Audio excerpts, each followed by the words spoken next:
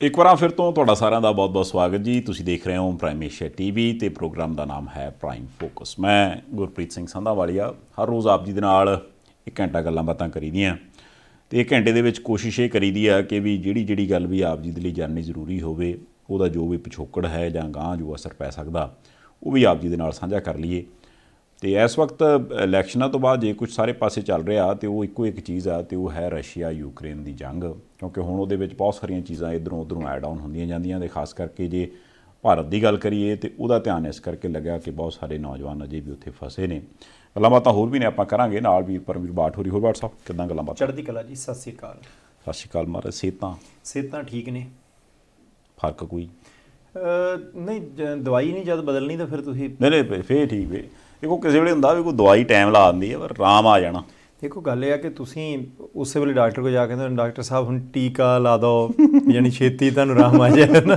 ਤੇ ਆਪਾਂ ਹੁੰਦਾ ਚਲੋ ਹੋਮਿਓਪੈਥੀ ਦਵਾਈ ਆ ਹੌਲੀ ਹੌਲੀ ਖਾਈ ਜਾਵਾਂਗੇ।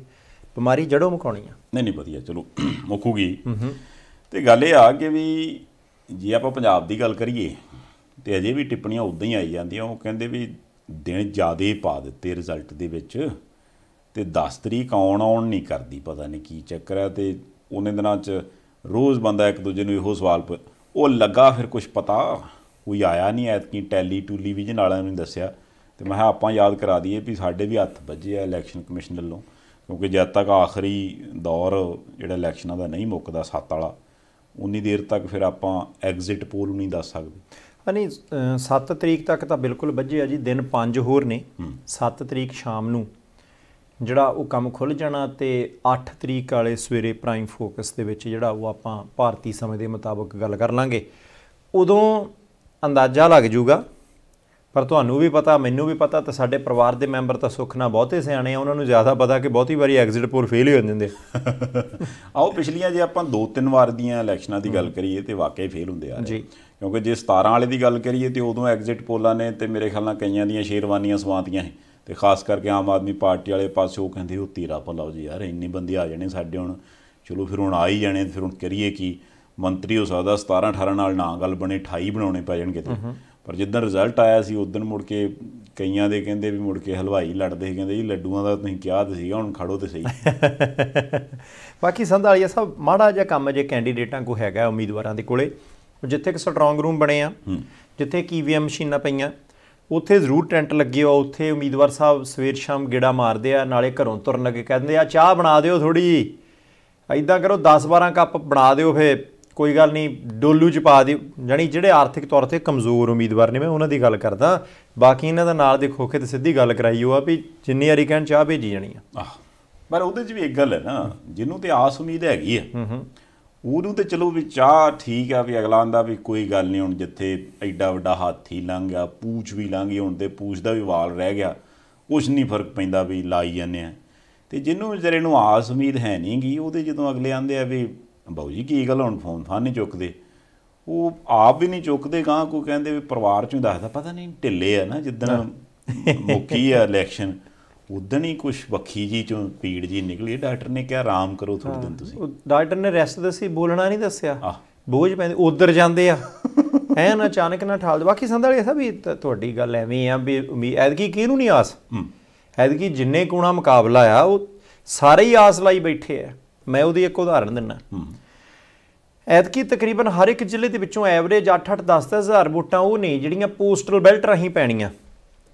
ਯਾਨੀ ਜਿਹੜੇ ਕਰਮਚਾਰੀਆਂ ਦੀ ਡਿਊਟੀ ਲੱਗੀ ਸੀ ਪੋਲਿੰਗ ਵੋਟਾਂ ਪਾਉਣ ਦੀ ਜਿਹੜੇ ਫੌਜੀ ਜਵਾਨ ਸੀ ਉਹਨਾਂ ਦੀ ਡਿਊਟੀ ਸੀ ਅਰਧ ਫੌਜੀ ਸੈਨਾ ਦੇ ਜਿਹੜੇ ਜਵਾਨ ਸੀਗੇ ਜਿਹੜੇ ਡਿਊਟੀਆਂ ਨਿਭਾਉਂਦੇ ਸੀ ਉਹਨਾਂ ਦੇ ਕੋਲੇ ਇੱਕ ਮਸਲਾ ਹੁੰਦਾ ਹੈ ਕਿ ਉਹ ਪੋਸਟਲ ਬੈਲਟ ਮੰਗਵਾ ਸਕਦੇ ਹੁੰਦੇ ਆ ਕਿ ਮੈਂ ਡਾਕ ਰਾਹੀਂ ਵੋਟ ਪਾਉਣੀ ਹੈ ਕਿਉਂਕਿ ਮੈਂ ਉਸ ਦਿਨ ਡਿਊਟੀ ਤੇ ਆ ਤੇ ਆਪਣੇ ਪੋਲਿੰਗ ਬੂਥ ਤੇ ਪਹੁੰਚ ਕੇ ਵੋਟ ਨਹੀਂ ਪਾ ਸਕਦਾ।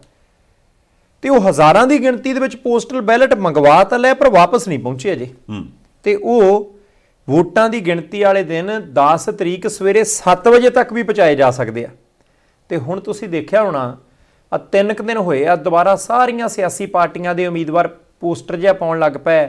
ਦੇਖੋ ਜੀ, ਮੈਂ ਕਰਮਚਾਰੀ ਭੈਣਾਂ ਭਰਾਵਾਂ ਨੂੰ ਬੇਨਤੀ ਕਰਦਾ ਹਾਂ ਕਿ ਤੁਸੀਂ ਆਪਣੇ ਪੋਸਟਲ ਬੈਲਟ ਜਾਨੀ ਜਿਹੜੀਆਂ ਡਾਕ ਰਾਹੀਂ ਤੁਸੀਂ ਵੋਟਾਂ ਪਾਉਣੀਆਂ, ਉਹ ਮੇਰੇ ਹੱਕ ਦੇ ਵਿੱਚ ਇੱਕ ਇੱਕ ਵੋਟ ਭਗਤਾਓ। ਹੁਣ ਇੱਕ ਛੋਟੀ ਜਿਹੀ ਉਦਾਹਰਣ ਹੈ। 10000 ਤੋਂ ਵੱਧ ਪੋਸਟਲ ਬੈਲਟ ਜਿਹੜੇ ਆ ਉਹ ਅੰਮ੍ਰਿਤਸਰ ਜ਼ਿਲ੍ਹੇ ਦੇ ਲੋਕਾਂ ਨੇ ਮੰਗਵਾਏ ਆ ਜਿਨ੍ਹਾਂ ਦੀਆਂ ਡਿਊਟੀਆਂ ਲੱਗੀਆਂ ਸੀ। ਹੁਣ ਇਹਦਾ ਮਤਲਬ ਹੈ ਕਿ ਇੱਕ ਇੱਕ ਵਿਧਾਨ ਸਭਾ ਹਲਕੇ ਦੇ ਵਿੱਚ 1000 1200 ਹੋ ਸਕਦਾ ਕਿਤੇ 15 1600 ਵੋਟਾਂ ਵੀ ਡਾਕ ਰਾਹੀਂ ਪੈ ਜਾਣ। ਤੇ ਜਿੱਦਾਂ 5 5 6 6 ਕੋਣਾ ਮੁਕਾਬਲਾ ਹੋ ਸਕਦਾ ਕਿਤੇ 500 ਦੇ ਨਾਲ ਹੀ ਜਿੱਤਾਰ ਹੋਵੇ ਉਹਨਾਂ ਨੂੰ ਲੱਗਦਾ ਹੋਵੇ ਡਾਕ ਰਾਹੀਂ ਟਿਕਟਾਂ ਨੇ ਜਿਤਾਉਣਾ ਹਰਾਉਣਾ। ਤਾਂ ਉਹਦੇ ਤੇ ਵੀ ਲੱਗਿਆ ਇਸ ਕਰਕੇ ਆਸਾਂ ਐਤਕੀ ਸਾਰਿਆਂ ਨੂੰ ਕਿ ਭਾਈ ਐਲਐਮਏ ਸਾਹਿਬ ਮੈਨੂੰ ਡਾਕ ਵਾਲੀਆਂ ਵੋਟਾਂ ਨਹੀਂ ਬਣਾਉਣਾ ਹੀ ਹਾਂਜੀ ਹੈਗੀ ਇਹ ਗੱਲ ਇਹ ਵੀ ਸੁਣ ਚ ਆਇਆ ਵੀ ਮਤਲਬ ਜਿਹੜੇ ਬੰਦੇ ਮੋਤਬਾਰ ਹੁੰਦੇ ਨਾ ਪਿੰਡਾਂ 'ਚ ਉਹਨਾਂ ਇਧਰੋਂ ਉਧਰੋਂ ਪਤਾ ਕਰਾਉਣਾ ਸ਼ੁਰੂ ਕੀਤਾ ਵੀ ਕਿਹੜਾ ਕਿਹੜਾ ਮੁਲਾਜ਼ਮ ਸੀਗਾ ਤੇ ਕਿੰਨੇ ਕਿੰਨੇ ਉਦੋਂ ਡਿਊਟੀ ਦਿੱਤੀ ਆ ਜਾਂ ਕਿਹਦਾ ਕਿਹਦਾ ਮੁੰਡਾ ਵੀ ਇੱਧਰ ਉੱਧਰ ਕਿਤੇ ਡਿਊਟੀ ਤੇ ਆ ਤੇ ਪਤਾ ਕਰੀਏ ਵੀ ਘਰੇ ਚਿੱਠੀ ਤੇ ਨਹੀਂ ਆਈ। ਜੀ। ਤੇ ਇਹ ਵੀ ਗੱਲ ਸੁਣਨ ਚ ਆਈ ਵੀ ਅਗਲੇ ਕਹਿੰਦੇ ਉਹ ਹੈ ਨਹੀਂ ਤੁਹਾਡੇ ਕੰਮ ਦੀ ਉਹ ਫਿਰ ਤੁਸੀਂ ਮੋੜ ਦਿਓ ਚਿੱਠੀ ਫਿਰ ਅਸੀਂ ਫੜਾਵਾਂਗੇ ਤਹਿਸੀਲੇ ਉਹ ਕੋ ਕਾਗਜ਼ ਕੂਗਤ ਆਏ ਹੋਣੇ ਡਿਊਟੀ ਦੇ ਹੋਰ ਤੇ ਕੁਝ ਨਹੀਂ। ਐਂਡ ਇਹ ਵੀ ਪਤਾ ਲੱਗਾ ਅਗਲਾ ਉਹ ਉਹ ਪੈਸੇ ਪੂਹੇ ਮਿਲਣੇ ਹੁੰਦੇ ਨਾ ਉਹ ਡਿਊਟੀ ਦੇ। ਉਹਦਾ ਹੋਣਾ ਕਾਗਜ਼ ਕੂਗਜ਼ ਦਿਓ ਫਿਰ ਤੁਸੀਂ ਡਿਊਟੀ। ਇਹ ਜੇ ਕੋਈ ਇਦਾਂ ਕਾਗਜ਼ ਚਿੱਠੀ ਪੱਤਰ ਲੈ ਕੇ ਜਾਵੇ ਤੇ ਉਹ ਜ਼ਰੂਰ ਪਤਾ ਕਰ ਲਿਓ।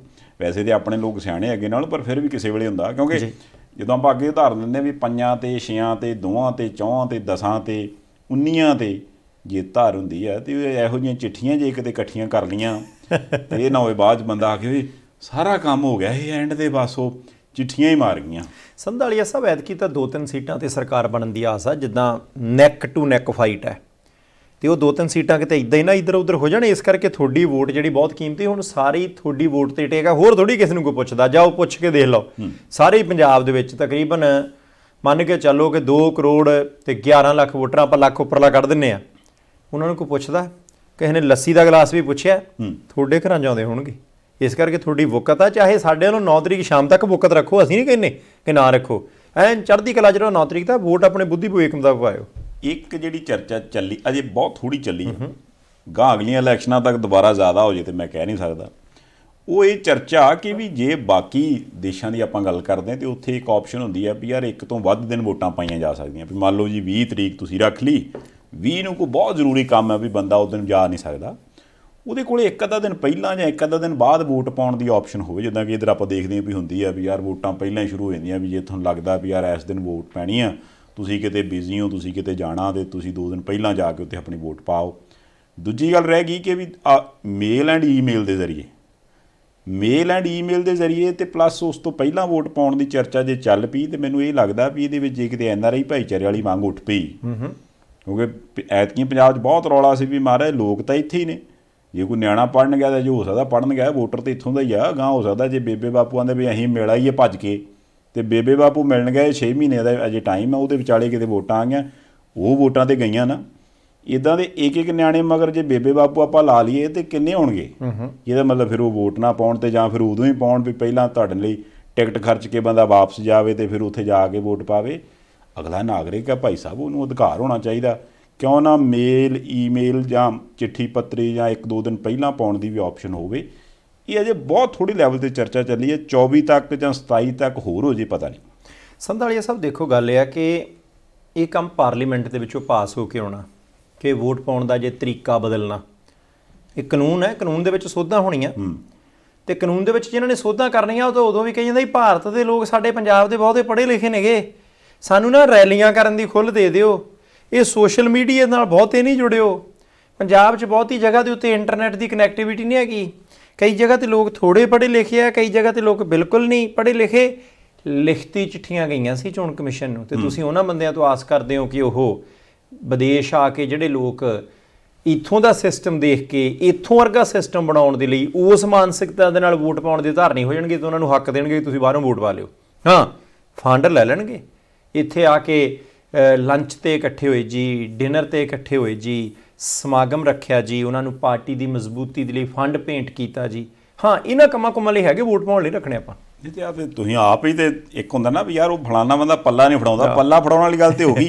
ਵਿਆਹ ਤੇ ਕਿੱਡੀ ਵਧੀਆ ਗੱਲ ਹੈ ਵੀ ਜਦੋਂ ਅਗਲਾ ਬੰਦਾ ਆਵੇ ਉਧਰੋਂ ਕੋਈ ਚਿੱਠੀ ਪੱਤਰ ਫੋਨ ਤੇ ਜਾਂ ਅਗਲਾ ਬੰਦਾ ਆਪ ਵੀ ਮਹਾਰਾਜ ਵੀ ਉਹ ਰੱਖਿਓ ਜੀ ਖਿਆਲ ਫਿਰ ਥੋੜਾ ਬਹੁਤ ਫੰਡ ਹੋ ਗਿਆ ਤੇ ਫੰਡ ਦਿਆਂਗੇ। ਪਰ ਆ ਡਿਮਾਂਡ ਹੈ ਨਾਲ। ਜੇ ਤੇ ਡਿਮਾਂਡ ਪੂਰੀ ਹੁੰਦੀ ਹੈ ਸਾਡਾ ਵੀ ਉੱਥੇ ਕੋਈ ਨਾ ਕੋਈ ਯੈਸ ਨੋ ਵਾਲੀ ਗੱਲਬਾਤ ਹੈਗੀ ਆ। ਫਿਰ ਤੇ ਅਸੀਂ ਜੀ ਸਦਕੇ ਭਾਈ ਸਾਹਿਬ ਤੁਹਾਨੂੰ ਫੰਡ ਦੇ ਕੇ ਰਾਜ਼ੀ। ਦੂਜੀ ਗੱਲ ਇਹ ਆ ਵੀ ਇੱਕ, ਇਹ ਇਹ ਪਤਾ ਕਿਉਂ ਮੈਨੂੰ ਲੱਗਦਾ ਵੀ ਡਿਮਾਂਡ ਆਉਣ ਵਾਲੇ ਦਿਨਾਂ 'ਚ ਵੱਧ ਜਾਣੀ ਹੈ ਜੇ ਆਪਾਂ ਪਿਛਲੇ ਜ਼ਿਆਦਾ ਨਹੀਂ 10-15 ਸਾਲਾਂ ਦੀ ਗੱਲ ਕਰ ਲਈਏ ਤੇ ਉਹਦੇ ਹਿਸਾਬ ਨਾਲ ਕਿੰਨੇ ਪੰਜਾਬ ਦੇ ਵਿੱਚ ਜਿਹੜੇ ਨੌਜਵਾਨ ਨੇ ਜਾਂ ਜਿਹੜੇ ਲੋਕ ਨੇ ਉਹ ਪਰਦੇਸੀ ਹੋਏ ਜਾਂ ਐਨ ਆਰ ਆਈ ਬਣੇ। ਹੁਣ ਲੋਕ ਤਾਂ ਇਹਨਾਂ ਦੀ ਬਣ ਗਏ। ਅਗਲੇ ਪੰਜਾਬ ਤੇ ਹੱਕ ਮੰਨਦੇ ਆ, ਪਰ ਹੱਕ ਜਿਹੜਾ ਵੋਟ ਦੇ ਹਿਸਾਬ ਨਾਲ ਹੈਗਾ ਉਹ ਕਿਤੇ ਹੈ ਕੋਈ ਨਹੀਂ।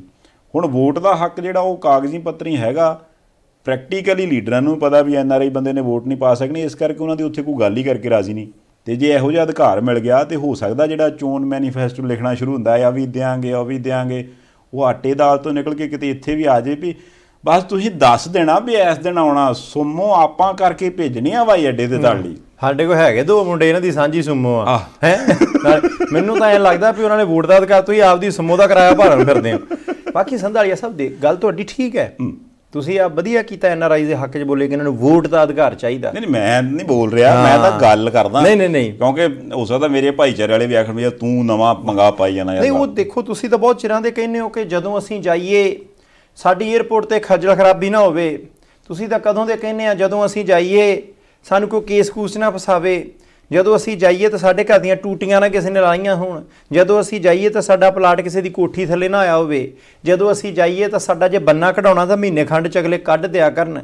ਜਦੋਂ ਅਸੀਂ ਜਾਈਏ ਤਾਂ ਉਦੋਂ ਜਾਂਦਿਆਂ ਨੂੰ ਜੇ ਸਾਡੀ ਦੁਕਾਨ ਕਿਸੇ ਕਿਰਾਏਦਾਰ ਨੇ ਕਿਰਾਏ ਤੇ ਲਈ ਆ ਤਾਂ ਫਿਰ ਅਸੀਂ ਚਾਹੀਏ ਤਾਂ ਖਾਲੀ ਕਰਾ ਲਈਏ। ਹੋਇਆ ਅਜ ਤੱਕ ਕੁਝ ਐਨ ਆਰ ਆਈ ਸਭਾ ਅਸੀਂ ਬਣਾਤੀ ਸੀ। ਮੁੜ ਕੇ ਅਸੀਂ 4 ਸਾਲ ਨਾ ਵੋਟਾਂ ਪਵਾਈਏ 5 ਸਾਲ ਨਾ ਪਵਾਈਏ ਤੁਸੀਂ ਭੱਜ ਲਓ ਇੱਧਰ ਭੱਜਣਾ ਹਾਂ। ਇਹ ਇੱਕ ਗੱਲ ਆ ਇਹ ਦੇਖੋ ਇਦੋਂ ਪਹਿਲਾਂ ਵੀ ਆਪਾਂ ਛੇੜ ਸਕਦੇ ਸੀ ਚਰਚਾ ਹੋ ਸਕਦਾ ਕਈ ਬੰਦੇ ਆਖਣ ਹੁਣ ਤੇ ਵੋਟਾਂ ਲੰਘੀਆਂ ਹੁਣ ਤੁਸੀਂ ਤੁਹਾਨੂੰ ਚੇਤਾ ਆ ਗਿਆ ਦੇਖੋ ਕਾਰਨ ਹੈ ਵੀ ਚੇਤਾ ਅਸੀਂ ਥੋੜਾ ਕਰਨਾ। ਚੇਤਾ ਤੇ ਜਿਹੜੇ ਬੰਦੇ ਲੱਖਾਂ ਲੋਕ ਬਾਹਰ ਬੈਠੇ ਨੇ ਪੰਜਾਬੀ ਉਹਨਾਂ ਨੂੰ ਕਰਨਾ ਚਾਹੀਦਾ ਸੀ। ਹੁਣ ਆਪਾਂ ਲੰਘਣ ਤੋਂ ਬਾਅਦ ਇਹ ਗੱਲ ਤਾਂ ਛੇੜੀ ਆ ਵੀ ਗਾਂ ਜਿਹੜੀ ਸਰਕਾਰ ਬਣਨੀ ਉਹਨੂੰ ਮਿਲ ਮਿਲਾਪ ਕਰਕੇ ਆਉਂਦੇ 2 ਸਾਲਾਂ ਤੱਕ ਕੁਛ ਨਾ ਕੁਛ ਕਰ ਲਓ। 24 ਚ ਗਾਂ ਕੇਂਦਰ ਦੀਆਂ ਇਲੈਕਸ਼ਨਾਂ ਆਉਣੀਆਂ ਉਦੋਂ ਤੱਕ ਕੋਈ ਨਾ ਕੋਈ ਇਦਾਂ ਦੀ ਚਿੱਠੀ ਪੱਤਰੀ ਦੀ ਗੱਲ ਹੋਵੇ। ਉਹ ਜਾਣੇ ਅਗਲਿਆਂ ਨੂੰ ਵੀ ਫਿਕਰ ਹੋਵੇ ਵੀਰ ਜਿਹੜੇ ਇੱਥੇ ਹੈਗੇ, ਉਹਦੇ ਹੈਗੇ ਹੈਗੇ ਆ, ਜਿਹੜੇ ਬਾਹਰ ਬੈਠੇ ਉਹਨਾਂ ਦਾ ਵੀ ਕੁਝ ਕਰਨਾ ਪੈਣਾ।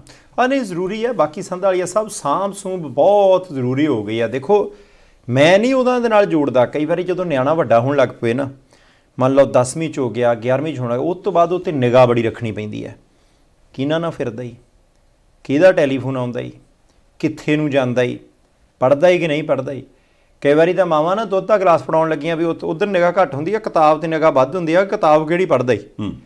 ਐਵੇਂ ਬਿਸਤਰੇ ਝਾੜੀ ਜਾਣੇ ਐਵੇਂ ਨਿਆਣ ਦੀਆਂ ਜੇਬਾਂ ਫੁੱਲੀ ਜਾਣੀਆਂ ਇਸ ਕਰਕੇ ਕਿ ਮਾੜੇ ਕੰਮ 'ਚ ਨਾ ਪੈ ਜਵੇ। ਇਸ ਕਰਕੇ ਹੁੰਦਾ ਨਾ। ਮੈਨੂੰ ਇਨ ਬਿਨ ਸਿਆਸੀ ਪਾਰਟੀਆਂ ਦੇ ਪ੍ਰਧਾਨਾਂ ਦੀ ਹਾਲਤ ਇਦਾਂ ਦੀ ਲੱਗਦੀ ਹੈ ਜੇ 10 ਨੂੰ ਨਤੀਜਾ ਆਉਣਾ ਹੈ। ਕਿਉਂਕਿ ਇਹਨਾਂ ਨੇ ਪਹਿਲਾਂ ਦੇਖਿਆ ਕੰਮ ਬਹੁਤ ਵੱਡੀ ਪੱਧਰ ਤੇ ਕਰਨਾਟਕ 'ਚ ਹੋਇਆ ਸੀ ਗੋਆ 'ਚ ਹੋਇਆ ਸੀ ਮਣੀਪੁਰ 'ਚ ਹੋਇਆ ਸੀ ਬੰਗਾਲ 'ਚ ਹੋਇਆ ਸੀ ਬਿਹਾਰ 'ਚ ਹੋਇਆ ਸੀ ਯੂਪੀ 'ਚ ਹੁੰਦਾ ਰਹਿੰਦਾ। ਕਿ ਜਦੋਂ ਸਿਆਸੀ ਪਾਰਟੀ ਦੇ ਕੋਈ ਐਮਐਲਏ ਜਿੱਤਦੇ ਆ ਤਾਂ ਝਾਟੀ ਉਹਨੂੰ ਦੂਸਰੇ ਬੰਦੇ ਆਪਣੀ ਟਰਾਲੀ ਚਾੜਨ ਨੂੰ ਕਾਲੇ ਰਹਿੰਦੇ ਆ। ਇਹ ਕੰਮ ਹਰਿਆਣੇ 'ਚ ਵੀ ਹੋਇਆ ਸੀ। ਹੁਣ ਉਹਨਾਂ ਸਾਰਿਆਂ ਸੂਬਿਆਂ ਵਰਗਾ ਤਜਰਬਾ ਜੇ ਕਿਤੇ ਬਹੁਮਤ ਕਿਸੇ ਪਾਰਟੀ ਨੂੰ ਨਾ ਮਿਲਿਆ ਤਾਂ ਪੰਜਾਬ ਦੇ ਵਿੱਚ ਵੀ ਹੋ ਸਕਦਾ। ਇਸ ਕਰਕੇ ਸਾਰੀਆਂ ਪਾਰਟੀਆਂ ਦੇ ਪ੍ਰਧਾਨ ਸਿਖਰਲੇ ਲੀਡਰ ਜਿਨ੍ਹਾਂ ਨੂੰ ਆਸ ਹੈ ਕਿ ਅਸੀਂ ਮੁੱਖ ਮੰਤਰੀ ਜਾਂ ਵੱਡੇ ਕੈਬਨਿਟ ਮੰਤਰੀ ਬਣਨਾ। ਉਹਨਾਂ ਨੇ ਹੁਣ ਆਪਣੇ ਆਪਣੇ ਉਮੀਦਵਾਰਾਂ ਦੀਆਂ ਮੀਟਿੰਗਾਂ ਕਰਨੀਆਂ ਸ਼ੁਰੂ ਕਰਤੀਆਂ। ਦੇਖੋ ਆਪਾਂ ਪਾਰਟੀ ਨਾਲ ਰਹਿਣਾ ਹੀ। ਤੁਹਾਨੂੰ ਲਾਲਚ ਬਹੁਤ ਦਿੱਤੇ ਜਾਣਗੇ। ਤੁਹਾਨੂੰ ਧਮਕੀਆਂ ਵੀ ਦਿੱਤੀਆਂ ਜਾਣਗੀਆਂ। ਆਪਾਂ ਪਾਰਟੀ ਨਹੀਂ ਛੱਡਣੀ। ਤੁਸੀਂ ਐ ਕਰਨਾ ਹੀ। ਤੁਸੀਂ ਆਪਣੇ ਬੰਦਿਆਂ ਦੀ ਡਿਊਟੀ ਲਾ ਦੇਣੀ ਆ। 10 ਤਰੀਕ ਨੂੰ ਕਿਸੇ ਨੇ ਜਾਣਾ ਨਹੀਂ। ਜਿੱਥੇ ਜਿੱਥੇ ਗਿਣਤੀ ਹੁੰਦੀ ਹੈ ਉਮੀਦਵਾਰ ਸਾਹਿਬ, ਤੁਹਾਨੂੰ ਆ ਬੰਦੇ ਲੈਣ ਆਉਣਗੇ। ਪੋਲਿੰਗ ਸਟੇਸ਼ਨ ਗਿਣਤੀ ਕੇਂਦਰ ਚੋਂ ਤੁਹਾਨੂੰ ਆ ਲੈਣ ਆਉਣਗੇ। ਕਿਤੇ ਨਹੀਂ ਜਾਣਾ। ਸਾਰਿਆਂ ਨੇ ਆਪਾਂ ਇਕੱਠੇ ਹੋਣਾ ਹੈ। ਜਦੋਂ ਇਕੱਠੇ ਹੋ ਗਏ ਆ ਟੋਕਰੀ 'ਚ ਆਪਣੇ ਹੁਣ ਮੋਬਾਈਲ ਫੋਨ ਰੱਖ ਦਿਓ ਜਿਹੜਾ ਹਰ ਗਿਆ ਉਹ ਤਾਂ ਘਰ ਨੂੰ ਜਾਵੇ। ਉਹਨੂੰ ਨਹੀਂ ਕੋਈ ਪਾਬੰਦੀ। ਉਹ ਜੀ ਸਦਕੇ ਜਿਨ੍ਹਾਂ ਚਾਹੇ ਦੋ ਫੋਨ ਵਰਤੇ ਦੋਨਾਂ ਹੱਥਾਂ ਦੇ ਵਿੱਚ ਐ ਫੜ ਕੇ ਗੇਮ ਖੇਡੇ ਜਿੰਨੀ ਖੇਡਣੀ ਆ। ਪਰ ਜਿਹੜੇ ਜਿੱਤ ਗਏ ਚਾਹੇ ਉਹ ਕਾਂਗਰਸੀ ਆ ਚਾਹੇ ਉਹ ਆਪ ਦੇ ਆ ਚਾਹੇ ਉਹ ਕਿਸੇ ਪਾਰਟੀ ਦੇ ਆ ਤੁਸੀਂ ਦੇਖੋ ਐਤਕੀ ਤਾੜਨੇ ਕਿਦਾਂ ਆਹ ਇਹ ਮਤਲਬ ਕਿਸੇ ਪਾਰਟੀ ਦਾ ਨਾਂ ਤਾਂ ਐਵੇਂ ਹੀ ਲਿਆ WhatsApp ਮੇਨ ਤਾਂ ਤੁਸੀਂ ਦੋ ਪਾਰਟੀਆਂ ਦਾ ਨਹੀਂ, ਨਾਂ ਹੀ ਮੈਂ ਕਿਹਨੂੰ ਲਿਆ ਇਹ ਗੱਲ ਕਰ ਗਈ ਇਹ ਤਾਂ ਫਿਰ ਆਹੋ ਆਹੋ ਹੈ ਨਾ। ਚਲੋ ਇਹ ਟਿੱਪਣੀ ਤੁਸੀਂ ਵੀ ਕਰ ਦਿਓ ਜੀ ਸਦਕੇ। ਇਹ ਵਾਵਾ ਦਿਨ ਦੀ ਉੱਡਦੀ ਉੱਡਦੀ ਗੱਲ ਸੀਗੀ ਐਂਡ ਆਪਾਂ ਥੋੜੀ ਥੋੜੀ ਵਾਰ ਵਿੱਚ ਵਿੱਚ ਕਰਦੇ ਰਹੇ ਹਾਂ। ਹੁਣ ਇੱਕ ਰਾਂ ਫੇਰ ਕਰ ਲੈਨੇ ਆ ਵੀ ਇਹ ਚਰਚਾ ਅਸੀਂ ਨਹੀਂ ਕਹਿੰਦੇ ਵੀ ਇਦਾਂ ਹੈਗਾ ਪਰ ਜਿੱਦਾਂ ਉਹ ਪਹਿਲਾਂ ਹੁੰਦਾ ਰਿਹਾ ਇਸ ਕਰਕੇ ਹੁਣ ਹਿਸਾਬ ਕਿਤਾਬ ਆ ਗਿਆ ਹੋ ਸਕਦਾ ਵੀ ਕੋਈ ਵੱਡੇ ਜਿਹੜੇ ਹੋਟਲ ਹਾਟਲ ਵਾਲੇ ਹੋਣ ਉਹ ਐਵੇਂ ਫੋਨ ਆਇਆ ਸੀ ਕਮਰੇ ਪੁੱਛਦੇ ਸੀ ਕਿੰਨੇ ਆ। ਅਸੀਂ ਦੱਸਤਾ ਜੀ ਪ੍ਰਬੰਧ ਠੀਕ ਹੈ, ਕੋਈ ਚੱਕਰ ਨਹੀਂ ਸਿਕਿਉਰਿਟੀ ਵੀ ਹੈਗੀ ਹੈ। ਤੇ ਬੱਸਾਂ ਬੁੱਸਾਂ ਵਾਲੇ ਵੀ ਹੋ ਸਕਦਾ, ਆਖਣ ਵੀ ਕਹਿੰਦਾ ਕੁਝ ਪਤਾ ਨਹੀਂ ਹੋਏ ਤੂੰ ਥੋੜੇ ਵਰਦੀ ਵਰਦੀ ਨਵੀਂ ਸਵਾਲਾ ਕਹਿੰਦਾ ਕਿਉਂ ਕਿ ਕੁਝ ਪਤਾ ਥੋੜਾ ਹੁੰਦਾ, ਮਾਲਕਾਂ ਨੇ ਕਦੋਂ ਤੇਰੀ ਬੱਸ ਖਲਾ ਦੇਣੀ ਆ। ਤੇ ਅਚਾਨਕ ਤੂੰ ਵੇਖੇ ਵੀ ਜਿਹੜੇ ਲੀਡਰ ਮੈਂ ਫੋਟੋ ਲੱਗੀ ਐਵੇਂ ਨਾ ਨਾ ਸਾਰੇ ਹੀ ਬੱਸ 'ਚ ਬੈਠੇ ਆ। ਤੇ ਮੁੜ ਕੇ ਤੇਰਾ ਫੋਨ ਵੀ ਰਖਾ ਕੇ ਕਹਿਣ ਵੀ ਤੂੰ ਬੱਸ ਹੁਣ ਇਧਰੋਂ, ਇਧਰ ਨੂੰ ਪਾ ਕੇ ਇਧਰ ਲੈ ਜਾਣੀ ਆ। ਹੋ ਸਕਦਾ ਵੀ ਬਸ ਕੰਪਨੀ ਵਾਲਿਆਂ ਨੂੰ ਇਹੋ ਜਿਹਾ ਕੁਝ ਦੇਖਣਾ ਪਵੇ ਪਰ ਜੇ ਤਾਂ ਹੁੰਦਾ। ਸੰਧਾਲੀਆ ਸਾਹਿਬ ਇਹ ਕਹਿੰਨਾ ਕਿ ਰਾਜਸਥਾਨ ਹਰਿਆਣੇ ਤੇ ਪੰਜਾਬ 'ਚ ਖਾਸ ਤੌਰ ਤੇ ਰਾਜਸਥਾਨ ਤੇ ਹਰਿਆਣੇ 'ਚ ਦੋ ਸੂਬਿਆਂ 'ਚ ਹੋ ਸਕਦਾ ਹਿਮਾਚਲ। ਜੇ ਤੁਸੀਂ ਜਾਓ ਉਹਨਾਂ ਨੂੰ ਵੈਸੇ ਹੀ ਪੁੱਛਣਾ ਜੀ ਤਿੰਨ ਚਾਰ ਕਮਰੇ ਚਾਹੀਦੇ ਆ 11 12 13 ਤੇ 14 ਤਰੀਕ ਦੇ। ਤੇ ਹੋ ਸਕਦਾ ਕਿ ਕੋਈ ਵੱਡੇ ਹੋਟਲ ਜਿਹੜੇ ਸਿਰੇ ਦੇ ਆ ਮਾੜੇ ਮੋਟੇ ਹੋਟਲ ਨਹੀਂ। ਉਹ ਕਹਿਣ ਨਹੀਂ ਜੀ 10 ਤੋਂ ਲੈ ਕੇ 18 ਤਰੀਕ ਤੱਕ ਤਾਂ ਸਾਰਾ ਹੀ ਹੋਟਲ ਬੁੱਕ ਹੈ ਕਿਉਂਕਿ ਜਿਨ੍ਹਾਂ ਨੇ ਕਰਾਉਣਾ ਉਹਨੇ ਚਾਰ ਕਮਰੇ ਨਹੀਂ ਕਰਾਉਣੇ। ਉਹਨਾਂ ਨੇ ਹੋਟਲ ਬੁੱਕ ਆ ਤੇ ਬਾਹਰ ਬਸ ਬੰਦੇ ਖੜੇ ਕਰ ਦੇਣੇ ਅੰਦਰ ਨਾ ਕੋ ਬੜੇ ਦੇਖੋ ਇੰਨਾ ਤਾਂ ਨਵਾਂ ਬੂਟਾ ਪੱਟੇ ਜਾਣ ਦਾ ਖਤਰਾ ਨਹੀਂ ਹੁੰਦਾ ਜਿੰਨਾ ਐਮਐਲਏ ਪੱਟੇ ਜਾਣ ਦਾ ਖਤਰਾ ਨਹੀਂ ਬੁੱਕ ਅਗਲਿਆਂ ਦਾ ਭਾਵੇਂ ਹੋਵੇ ਭਾਵੇਂ ਨਾ ਹੋਵੇ ਉਹਨਾਂ ਨੇ ਸਿਰਫ ਇਹੋ ਕਹਿਣਾ ਵੀ ਤੁਸੀਂ ਇੰਨੇ ਕੁ ਦਿਨਾਂ ਤੱਕ ਰੋਕ ਕੇ ਰੱਖਣਾ ਕੰਮ। ਜਦੋਂ ਕੋਈ ਬੁਕਿੰਗ ਵਾਲਾ ਫੋਨ ਆਵੇ ਤੇ ਉਦੋਂ ਪਹਿਲਾਂ ਸਾਨੂੰ ਇੱਕ ਵਾਰ ਪੁੱਛ ਲੈਣਾ ਵੀ ਸਰ ਕਿਸੇ ਨੂੰ ਦੇ ਦਈਏ ਜੀ ਕਮਰਾ? ਸਾਡੇ ਚੜਦੇ ਜੇ ਕਮਰੇ। ਹੁਣ ਜੇ ਇਦਾਂ ਹੋਈ ਤੇ ਫਿਰ ਪਤਾ ਨਹੀਂ ਕੀ ਵਾਪਰੇ ਪਰ ਇੱਕ ਗੱਲ ਆ ਵੀ ਇਸ ਚੀਜ਼ ਨੂੰ ਰੋਕਣ ਦਾ ਹੱਲ ਕੋਈ ਨਹੀਂ ਹੈਗਾ। ਕਿਸੇ ਵੇਲੇ ਹੁੰਦਾ ਨਾ ਵੀ ਯਾਰ ਫਲਾਨੀ ਚੀਜ਼ ਦਾ ਪਤਾ ਲੱਗ ਗਿਆ ਹੁਣ ਫਿਰ ਇਹਦਾ ਹੱਲ ਇਹ ਕਰ ਲੈਣਗੇ। ਹੈਗਾ। ਅੱਛਾ। ਜਿੰਨਾ ਅਗਲੇ ਮੁੱਲ ਆ ਉਹਦੇ ਦੁੱਗਣਾ ਲਾ ਦਿਓ। ਉਹਦੇ ਨਾਲ ਫ਼ਰਕ ਪੈਂਦਾ ਦੇ ਹੀ ਦੇਣੇ ਉਹਨਾਂ ਨੇ। ਦੇ ਦੇ। ਠੀਕ ਹੈ। ਲੈ ਦੱਸ ਹੱਦ ਹੋ ਗਈ ਮੈਂ ਆਪਾਂ ਤਾਂ ਕਦੋਂ ਦੀ ਗੱਲ ਕਰ ਹਟਿਆ ਵੀ ਜੇ ਸਾਡੀ ਗੱਲ ਤੇ ਯਕੀਨ ਨਹੀਂ ਇਲੈਕਸ਼ਨਾਂ ਤੋਂ ਪਹਿਲਾਂ ਆ ਚੰਡੀਗੜ੍ਹ ਪੰਜਾਬ ਦੀ ਰਾਜਧਾਨੀ ਦੇ ਵਿੱਚ ਐਮਸੀ ਚੋਣਾਂ ਹੋਈਆਂ। ਇਹ। ਤੇ ਕਾਉਂਸਲਰ ਕਹਿੰਦੇ ਪੌਣੇ ਪੌਣੇ ਕਰੋੜ ਨੂੰ ਆਂਦੇ ਵੀ ਹਾਂ, ਕਿੱਦਾਂ ਜੀ? ਵੀ ਐਮਐਲਏ ਤੇ ਵੱਡੀ ਸ਼ਹਿ ਹੁੰਦੀ ਹੈ ਯਾਰ, ਕੀ ਕਰਦੇ ਜੀ? ਸੰਧਾਲੀਆ ਸਾਹਿਬ, ਇਹ ਵੀ ਹੋ ਸਕਦਾ ਕੋਈ ਐਮਐਲਏ ਕਹੇ ਨਹੀਂ, ਇਹ ਮੈਂ ਘਰੇ ਰਹਿਣਾ ਜਾਣਾ। ਹੋ ਸਕਦਾ ਉਹਦੇ ਘਰੇ ਉਦਾਂ ਹੀ ਦੋ ਬੰਦੇ ਉਧਰੋਂ ਟੈਲੀਫੋਨ ਆਵੇ ਪਾਰਟੀ ਪ੍ਰਧਾਨ ਦਾ। ਉਹ ਦੇਖੋ ਜੀ ਆ ਦੋ ਬੰਦੇ ਆਏ ਸੀ, ਮੇਰੇ ਨੇੜਲੇ ਰਿਸ਼ਤੇਦਾਰ ਨੇ, ਬਹੁਤ ਹੀ ਨੇੜਲੇ ਰਿਸ਼ਤੇਦਾਰ ਨੇ। ਇਹ ਇਹ ਥੋ- ਇਹ- ਇਹਨਾਂ ਨੂੰ ਦੋ ਕੁ ਦਿਨ ਇੱਥੇ ਰੱਖਿਓ ਜੀ, ਉਹ ਹੋ ਸਕਦਾ ਉਹ, ਜੇ ਉਹ ਮੰਨ ਲਓ ਕਿ ਰੋਟੀ ਖਾਧੀ ਆ ਇੱਥੇ, ਉਹਨਾਂ ਨਾਲ ਰੋਟੀ ਖਾਧੀ ਆ, ਉਹ ਉੱਠ ਕੇ ਬਾਥਰੂਮ ਜਾਣ ਤੇ ਉਹ ਵੀ ਮਗਰ, ਭਰਾ ਬਾਥਰੂਮ ਦਾ ਚੱਲਣ ਕਿਸੇ ਦਾ ਫੋਨ ਨਾ ਆਉਂਦਾ ਹੋਵੇ। ਆਹੋ ਫੋਨ ਵੀ ਆਉਂਦਾ ਹੁੰਦਾ ਨਾ ਕਿਸੇ ਵੇਲੇ ਹੁੰਦਾ ਵੀ ਅਚਾਨਕ ਟਿਡਿੰਗ ਟਿਡਿੰਗ ਟਿਡਿੰਗ ਟਿਡਿੰਗ ਟਿਡਿੰਗ ਮੈਸੇਜ ਆਏ ਹੈਨਾ ਫੋਨ ਚੁੱਕਿਆ ਕਿ ਨਾਲ ਹੀ ਅੱਖਾਂ ਅੱਡੀਆਂ ਰਹਿ ਗਈਆਂ ਇਧਰੋਂ ਉਧਰੋਂ ਵੇਖਿਆ ਕੀ ਗੱਲ ਹੋ ਗਈ? ਕੁਛ ਨਹੀਂ ਬਸ ਮੈਂ ਆਇਆ 5 ਮਿੰਟ ਮੈਨੂੰ ਪਰੇਸ਼ਾਨ ਨਾ ਕਰਿਓ। ਫੇਰ ਬੰਦਾ ਐ ਵੇਂਦਾ ਵੇਂਦਾ ਕਰਦਾ ਵੀ ਐਂਡ ਤੇ ਮੈਸੇਜ ਹੋਵੇ ਵੀ ਇਸ ਨੰਬਰ ਤੇ ਕਰਨਾ ਫੋਨ ਤੁਸੀਂ ਇਸ ਤੇ। ਕਰਨਾ। ਹੁਣ ਉਹਦੇ ਚ ਕਿਹੜੇ ਮੈਸੇਜ ਆਉਣੇ ਆ ਕੀ ਆਉਣਾ ਇਹ ਤੇ ਹੁਣ ਟਾਈਮ ਦੱਸੂਗਾ ਭਾਈ। ਲਓ ਜੀ ਸਾਨੂੰ ਇੰਨਾ ਪਤਾ ਕਹਿੰਦੇ ਹੁੰਦੇ ਨਾ ਕਿ ਐ ਕਿ ਪੱਟੇ ਜਾਣੇ ਕਈ ਮੈਂ ਤੁਹਾਨੂੰ ਇਹ ਗੱਲ ਦੱਸ ਦਿੰਦਾ ਹੀ ਪਹਿਲਾਂ ਹੀ। ਪਹਿਲੇ ਦੱਸ ਦਿੰਦਾ। ਹੁਣ ਕਿਹੜਾ ਕਿਹੜਾ ਇੰਨਾ ਹਲਕਾ ਕਿਹੜਾ ਬਿਨਾਂ ਜੜਾਂ ਤੋਂ ਤੁਰਿਆ ਫਿਰੂਗਾ ਐਮਐਲਏ ਉਹ ਆਪਾਂ ਹਿਸਾਬ ਲਾਉਣਾ ਹੀ ਐਤਕੀ ਵੀ ਭਾਈ ਜੜਾਂ ਵਾਲਾ ਕਿਹੜਾ ਸੀ ਤਾਂ ਬਿਨਾਂ ਜੜਾਂ ਤੋਂ ਕਿਹੜਾ ਸੀ? ਪਰ ਇਹ ਜੋ ਕੁਝ ਹੋਣਾ ਇਹ ਲੋਕਾਂ ਦੇ ਸਾਹਮਣੇ ਹੋਣਾ। ਤੇ ਲੋਕਾਂ ਕੋਲੇ ਕੋਈ ਤਾਕਤ ਨਹੀਂ ਵੀ ਉਹਨੂੰ ਰੋਕ ਸਕਣ। ਇਹ ਵੀ ਗੱਲ ਪੱਕੀ ਇਹ ਗੱਲ ਪੱਕੀ ਹੈ। ਹੈ ਨਾ ਇਹ ਇਹ ਆਪਾਂ ਹੁਣ ਤਾਂ ਕਹਿ ਰਹੇ ਹਾਂ ਠੋਕ ਵਜਾ ਕੇ ਕਿਉਂਕਿ ਆਪਾਂ ਇਹਦੋਂ ਪਹਿਲਾਂ ਕਿਹਾ ਸੀ ਵੀ ਹੁਣ ਤੁਹਾਡੇ ਕੋਲੇ ਮੌਕਾ ਹੈਗਾ ਜੀ। ਫੇਰ ਨਹੀਂ ਇਹ 27 ਤੱਕ ਮੌਕਾ ਹੈਗਾ। ਨਹੀਂ ਫੇਰ ਨਹੀਂ ਹੁਣ। ਇਹ ਦੋ ਬੰਦਿਆਂ ਦਾ ਨਾਂ ਨਾ ਬੜੀ ਬੜੇ ਦਿਨਾਂ ਬਾਅਦ ਬੜੇ ਹਫ਼ਤਿਆਂ ਦੇ ਬਾਅਦ ਲਿਆ ਸੁਖਬੀਰ ਸਿੰਘ ਬਾਦਲ ਹੋਰਾਂ ਨੇ ਕਿਉਂਕਿ ਬਿਕਰਮ ਸਿੰਘ ਮਜੀਠੀਆ ਸਾਹਿਬ ਦੀ ਅਜੇ ਜ਼ਮਾਨਤ ਦੀ ਅਰਜ਼ੀ ਜਿਹੜੀ ਆ ਹਾਈ ਕੋਰਟ ਦੇ ਵਿੱਚ ਉਹਨਾਂ ਨੇ ਲਾਈ ਨਹੀਂ ਹੋ ਸਕਦਾ ਅੱਜ ਲਾ ਦੇਣ। ਤਾਂ ਉਹ ਜੇਲ੍ਹ ਦੇ ਵਿੱਚ ਨੇ ਪਟਿਆਲੇ ਅਕਾਲੀ ਦਲ ਦੀ ਲੀਡਰਸ਼ਿਪ ਗਈ ਸੀ। ਹੁਣ ਬੀਬੀ ਹਰਸਿਮਰਤ ਕੌਰ ਬਾਦਲ ਤੇ ਸੁਖਬੀਰ ਸਿੰਘ ਬਾਦਲ ਸਾਹਿਬ ਗਏ ਰਿਸ਼ਤੇਦਾਰ ਵੀ ਨੇ ਤੇ ਪਾਰਟੀ ਦੇ ਵੀ ਲੀਡਰ ਨੇ। ਉਹ ਮਿਲੇ ਮਿਲ ਕੇ ਬਾਹਰ ਆਏ ਪੱਤਰਕਾਰਾਂ ਨੇ ਗੱਲਬਾਤ ਕੀਤੀ। ਉਹ ਕਹਿੰਦੇ ਜੀ, ਪਹਿਲੀ ਗੱਲ ਕਿ ਬਿਕਰਮ ਸਿੰਘ ਮਜੀਠੀਆ ਚੜ੍ਹਦੀ ਕਲਾ 'ਚ, ਦੂਸਰੀ ਗੱਲ ਕਿ ਨਿਰਦੋਸ਼, ਤੀਸਰੀ ਗੱਲ ਕਿ ਸਰਕਾਰ ਨੇ ਸਾਰਾ ਟਿੱਲ ਲਾ ਲਿਆ ਕਿ ਉਹਨਾਂ ਨੂੰ ਫਸਾਉਣ ਦਾ। ਉਹ ਕਹਿੰਦੇ ਉਸ ਡੀਜੀਪੀ ਤੋਂ ਪਰਚਾ ਆਪ ਕਰਾਇਆ, ਜਿਹੜੇ ਡੀਜੀਪੀ ਨੂੰ ਬਾਅਦ ਚ ਸਾਰਿਆਂ ਨੇ ਨਲਾਇਕ ਤੇ ਨਕਮਾ ਗਿਆ। ਇਹ ਉਹਨਾਂ ਨੇ ਕਿਹਾ, ਸੁਖਬੀਰ ਸਿੰਘ ਬਾਦਲ ਹੋਰਾਂ ਨੇ। ਤੇ ਨਾਲ ਦੇ ਨਾਲ ਉਹ ਕਹਿੰਦੇ ਜੀ, ਸਭ ਤੋਂ ਭੈੜੀ ਹਰਕਤ ਸੱਤਾਂ ਦਿਨਾਂ ਦੀ ਪ੍ਰਾਹੁਣੀ ਕਾਂਗਰਸ ਦੀ ਸਰਕਾਰ ਇਹ ਕਰ ਰਹੀ ਹੈ ਕਿ ਸਾਡੇ ਵਰਕਰਾਂ ਨੂੰ ਮਿਲ ਨਹੀਂ ਦੇ ਰਹੀ ਮਜੀਠੀਆ ਸਾਹਿਬ ਨੂੰ। ਉਹ ਕਹਿੰਦੇ ਕਿੰਨੀ ਕੁ ਦੇਰ ਚੰਨੀ ਤੇ ਰੰਧਾਵਾ ਰੋਕ ਲੈਣਗੇ? ਦਿਨ ਤਾਂ ਸੱਤ ਰਹਿ ਗਏ ਸਰਕਾਰ ਤਾਂ ਗਈ ਲੋ ਇੱਕ ਉੱਥੇ ਪੱਤਰਕਾਰ ਸੀ, ਉਹ ਕਹਿੰਦੇ ਜੀ, ਚਲੋ, ਸੁਖਬੀਰ ਸਿੰਘ ਬਾਦਲ ਸਾਹਿਬ ਜੀ ਠੀਕ ਹੈ। ਉਹਨਾਂ ਨਾਲ ਹੀ ਵੀ ਕਹਿਤਾ ਕਹਿੰਦੇ ਮੈਨੂੰ ਪੂਰਾ ਯਕੀਨ ਹੈ ਤੇ ਸਾਨੂੰ ਪਤਾ ਹੈ ਤੇ ਸਾਡੀ ਪਾਰਟੀ ਨੂੰ ਵੀ ਪਤਾ ਹੈ ਕਿ ਉਹ ਨਿਰਦੋਸ਼ ਨੇ, ਫਸਾਏ ਗਏ ਆ। ਚਲੋ। ਪੱਤਰਕਾਰ ਨੇ ਪੁੱਛ ਲਿਆ, ਕਹਿੰਦੇ ਜੀ, ਫਿਰ ਨਤੀਜਿਆਂ ਤੋਂ ਬਾਅਦ ਗੱਠਜੋੜ, ਫਿਰ ਕਹਿੰਦੇ ਗੱਠ ਜੋੜ ਕਰ ਲੈਣਾ ਤੁਸੀਂ। ਉਹ ਕਹਿੰਦੇ ਜਦ 80 ਸੀਟਾਂ ਅਸੀਂ ਜਿੱਤ ਲੈਣੀਆਂ ਤਾਂ ਗੱਠਜੋੜ ਤੂੰ ਦੱਸ ਯਾਰ ਅਸੀਂ ਕਾਹਤੋਂ ਕਰਨੇ ਜਦ ਸਾਡੀ ਸਰਕਾਰ ਹੀ ਬਣ ਜਾਣੀ ਹੈ। ਹੂੰ। ਫਿਰ ਉਹ ਬੋਲਿਆ ਨਹੀਂ ਬੰਦਾ। ਇਹਨੂੰ ਉਹਨੇ ਕਦਾ ਬੋਲਣਾ ਉਹ ਸੀਟਾਂ ਹੀ 80 ਕਹਿ ਦੀਆਂ। ਬੋਲਦਾ ਵਿਚਾਰਾ ਤਾਂ ਉਹ ਜੇ ਕਹਿੰਦੇ ਵੀ ਚੱਲ 57 58 ਹੁੰਦੀਆਂ। ਜਾਂ ਚਲੋ 60 61 62 ਹੁੰਦੀਆਂ। 80 ਵਾਲਾ ਤਾਂ ਕੰਮ ਹੀ ਫਿੱਟ ਹੈ ਨਾ। ਦੇਖੋ 80 ਐਮਐਲਏ ਜਦੋਂ ਜਿੱਤ ਜਾਂਦੇ ਨਾ WhatsApp ਪੰਜਾਬ ਦੀ ਨੁਹਾਰ ਬਦਲ ਜਾਂਦੀ। ਜੇ ਮੇਰੇ ਤੇ ਯਕੀਨ ਨਹੀਂ ਤੇ ਪਿਛਲੇ 5 ਸਾਲ ਲਾ ਲਓ। ਪਿਛਲੇ 5 ਸਾਲਾਂ 'ਚ 80 ਤੋਂ ਵੱਧ ਗਏ ਸੀ ਬਾਅਦ 'ਚ ਐਮਐਲਏ ਕਾਂਗਰਸ ਪਾਰਟੀ ਦੇ। ਯਾਨੀ ਜੇ 80 ਸੀਟਾਂ ਜਿੱਤੋ ਇਹਨਾਂ ਤਾਂ 92% ਦੀ ਕੰਮ ਹੋ ਜਾਂਦੇ ਆ। ਮਤਲਬ ਤੁਸੀਂ ਇਹ ਦੇਖੋ ਵੀ ਪੰਜਾਬ ਹੁਣ ਤੇ ਇਹ ਵੀ ਰਿਪੋਰਟਾਂ ਆਉਂਦੀਆਂ ਮੈਂ ਕਹਿੰਦੇ ਕਿਸੇ ਵੇਲੇ ਮਤਲਬ ਨੇਰੀ ਨੂਰੀ ਆਵੇ ਨਾ ਤੇ ਅਚਾਨਕ ਜਿਹੜੇ ਸਾਈਨ ਬੋਰਡ ਲੱਗੇ ਉਹਨੂੰ ਤਾਂ ਕਿਸੇ ਵੇਲੇ ਹੀਰਾ ਡਿੱਗ ਪੈਂਦਾ ਥੱਲੇ ਕਿਉਂਕਿ ਵਿੱਚ ਜੜੇ ਆ ਨਾ। ਜੜੇ।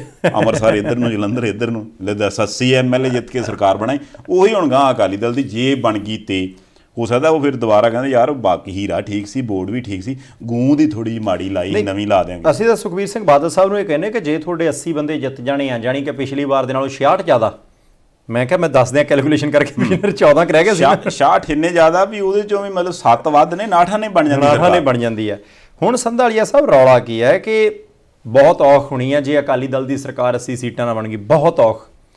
ਕਿਉਂਕਿ ਜਿਸ ਹਿਸਾਬ ਦੇ ਨਾਲ ਕੈਪਟਨ ਸਾਹਿਬ ਤੇ ਚੰਨੀ ਸਾਹਿਬ ਦੀ ਸਰਕਾਰ ਨੇ ਕਿਹਾ ਸੀ ਨਾ, ਇੰਨੇ ਲੱਖ ਲੋਕਾਂ ਨੂੰ ਰੁਜ਼ਗਾਰ ਦੇ ਦਿੱਤਾ। ਹੁਣ ਤਾਂ ਉਹ ਜਿਹੜੇ ਰੁਜ਼ਗਾਰ ਦਫ਼ਤਰਾਂ ਵਾਲੇ ਆ, ਉਹਨਾਂ ਨੂੰ ਵੀ ਔਖਾ ਹੋਇਆ ਪਿਆ ਵੀ ਪਤਾ ਨਹੀਂ ਸਾਡੀਆਂ ਨੌਕਰੀਆਂ ਰਹਿਣੀਆਂ ਕਿ ਰਹਿਣੀਆਂ। ਉਹ ਤਾਂ ਕਹਿੰਦੇ ਜਿੰਨੇ ਕੁ ਲੋਕ ਰੋਜ਼ ਆਉਂਦੇ ਸੀ ਕਿ ਸਾਨੂੰ ਤਾਂ ਜੀ ਕੰਮ ਨਹੀਂ ਮਿਲਿਆ। ਛੇਤੀ ਛੇਤੀ ਉਹਨਾਂ ਦੀਆਂ ਫਾਈਲਾਂ ਕਲੀਅਰ ਕਰਕੇ ਉਹਨਾਂ ਨੂੰ ਕੰਮ ਦਵਾ ਕੇ ਤਾਂ ਬਾਅਦ 'ਚ ਵੀ ਕਹਿੰਦੇ ਬੂਹੇ ਦੇ ਕੋਲ ਆ ਕੇ ਬਾਜਾ ਮਾਰਦੇ ਉਹ ਕੋਈ ਰਹਿ ਤਾਂ ਨਹੀਂ ਗਿਆ ਪੰਜਾਬ ਜਿਹਨੂੰ ਨੌਕਰੀ ਦੀ ਲੋੜ ਆ। ਜਦ ਅਗਲਿਆਂ ਛੱਡਿਆ ਹੀ ਕੋਈ ਨਹੀਂ ਤੁਸੀਂ ਕੰਮ ਕਿਹਨੂੰ ਦੇਣਾ ਈ ਇਹ ਹੈਗੇ ਆ ਦੋ ਤਿੰਨ ਪੁਰਾਣੇ ਕੰਮ ਇੱਕ ਤੇ ਬੱਸ ਰਹਿੰਦੀ ਸਾਡੀ ਪੁਰਾਣੀ ਪੈਂਡਿੰਗ ਲੈ ਦਸ ਬੰਦਾ ਸੀ ਆਂਦਾ ਚਲੋ। ਇਹ ਉਹ ਚਲਾਉਣੀ। ਇੱਕ ਉਹ 32 ਖੰਭੇ ਲੱਗੇ ਉਦੋਂ ਪਾਕਿਸਤਾਨ ਨੂੰ ਬੱਤੀ ਦੇਣ ਵਾਲੀ ਰਹਿੰਦੀ ਉਹ ਉਹ ਕਰ- ਇਹ ਤਾਂ ਦੋ ਕੰਮ ਪਹਿਲਾਂ ਕਰ ਲੈਣੇ ਬਾਕੀ ਚਲੋ ਉਹਨੇ ਜਿਹਨੂੰ ਫਿਰ ਨਿਕਲ ਹੀ ਆਉਂਦੇ ਹੁੰਦੇ ਵੀ ਕੋਈ ਆ ਵੀ ਕਰਨ ਵਾਲੇ ਹੈਗੇ ਚਾਰ ਕੁ ਕਰ ਦਿਓ। ਅੱਛਾ ਦੂਜੀ ਗੱਲ ਇਹ ਵੀ ਉਹ ਗਏ ਐਵੇਂ ਨਹੀਂ ਸੀ ਉੱਥੇ ਭਾਈ ਸਾਹਿਬ ਕਹਿੰਦੇ ਮਜੀਠੀਆ ਸਾਹਿਬ ਦਾ ਜਨਮ ਦਿਨ ਸੀਗਾ। ਅੱਛਾ। ਹੁਣ ਜਨਮ ਦਿਨ ਦਾ ਕਰਕੇ ਤੇ ਫਿਰ ਜਾਣਾ ਹੀ ਸੀਗਾ। ਮੁਬਾਰਕ ਦਿੱਤੀ। ਹਾਂ ਮੁਬਾਰਕਬਾਦ ਦਿੱਤੀ ਉਹਨਾਂ ਨੇ ਤੇ ਮੈਂ ਵੈਸੇ ਬੜਾ ਹੈਰਾਨ ਸੀ ਵੀ ਸੁਖਬੀਰ ਸਿੰਘ ਬਾਦਲ ਸਾਹਿਬ ਉਹਨਾਂ ਦੇ ਭੈਣ ਜੀ ਨੂੰ ਤਾਂ ਨਾਲ ਲੈ ਕੇ ਗਏ। ਨਾਲ ਚਲੋ ਬਾਕੀ ਲੀਡਰਸ਼ਿਪ ਵੀ ਸੀਗੀ। ਗੁਨੀਮ ਮਜੀਠੀਆ ਹੋਰੀ ਨਹੀਂ ਗਏ ਨਾਲ। ਉਹ ਸਗੋਂ ਮਜੀਠਾ ਹਲਕੇ ਤੋਂ ਅੰਮ੍ਰਿਤਸਰ ਪੂਰਬੀ ਹਲਕੇ 'ਚ ਗਏ ਜਿੱਥੋਂ ਕਿ ਮਜੀਠੀਆ ਸਾਹਿਬ ਨੇ ਸਿੱਧੂ ਸਾਹਿਬ ਦੇ ਅਗੇਂਸਟ ਇਲੈਕਸ਼ਨ ਲੜੀ ਹੈ। ਉੱਥੇ ਸ਼ਿਵਰਾਤਰੀ ਵਾਲੇ ਦਿਨ ਕਹਿੰਦੇ ਮੰਦਿਰ 'ਚ ਗਏ। ਪੂਜਾ ਅਰਚਨਾ ਕੀਤੀ। ਨਾਲੇ ਕਹਿੰਦੇ ਵੀ ਚਲੋ ਇਹਨੇ ਨਾ, ਅਸੀਂ ਤੇ ਉਹ ਆਨੇ ਵੀ ਪਰਿਵਾਰ ਦੇ ਵਿੱਚ ਰਹੀਏ, ਲੋਕਾਂ ਨਾਲ ਦਿਨ ਮਨਾਇਆ। ਫਿਰ ਪੁੱਛ ਲਿਆ ਜੀ ਵੀ ਮਜੀਠੀਆ ਸਾਹਿਬ ਦਾ ਜਨਮ ਦਿਨ ਕੀ ਕਹੋਗੇ? ਉਹਨਾਂ ਨੂੰ ਵੀ ਮੁਬਾਰਕ ਜੀ। ਨਾ ਤੇ ਦੇਖੋ, ਬੀਬੀ ਗਨੀਬ ਕੌਰ ਹੋਰੀ ਵੇਲੇ ਸਿਰ ਸਿਆਸਤ ਦੇ ਵਿੱਚ ਆ ਗਏ, ਕਿਉਂਕਿ ਇਹ ਨਹੀਂ ਸੀ ਪਤਾ ਉਦੋਂ ਕਿ ਮਜੀਠੀਆ ਸਾਹਿਬ ਨੇ ਅੰਦਰ ਜਾਣਾ ਹੈ।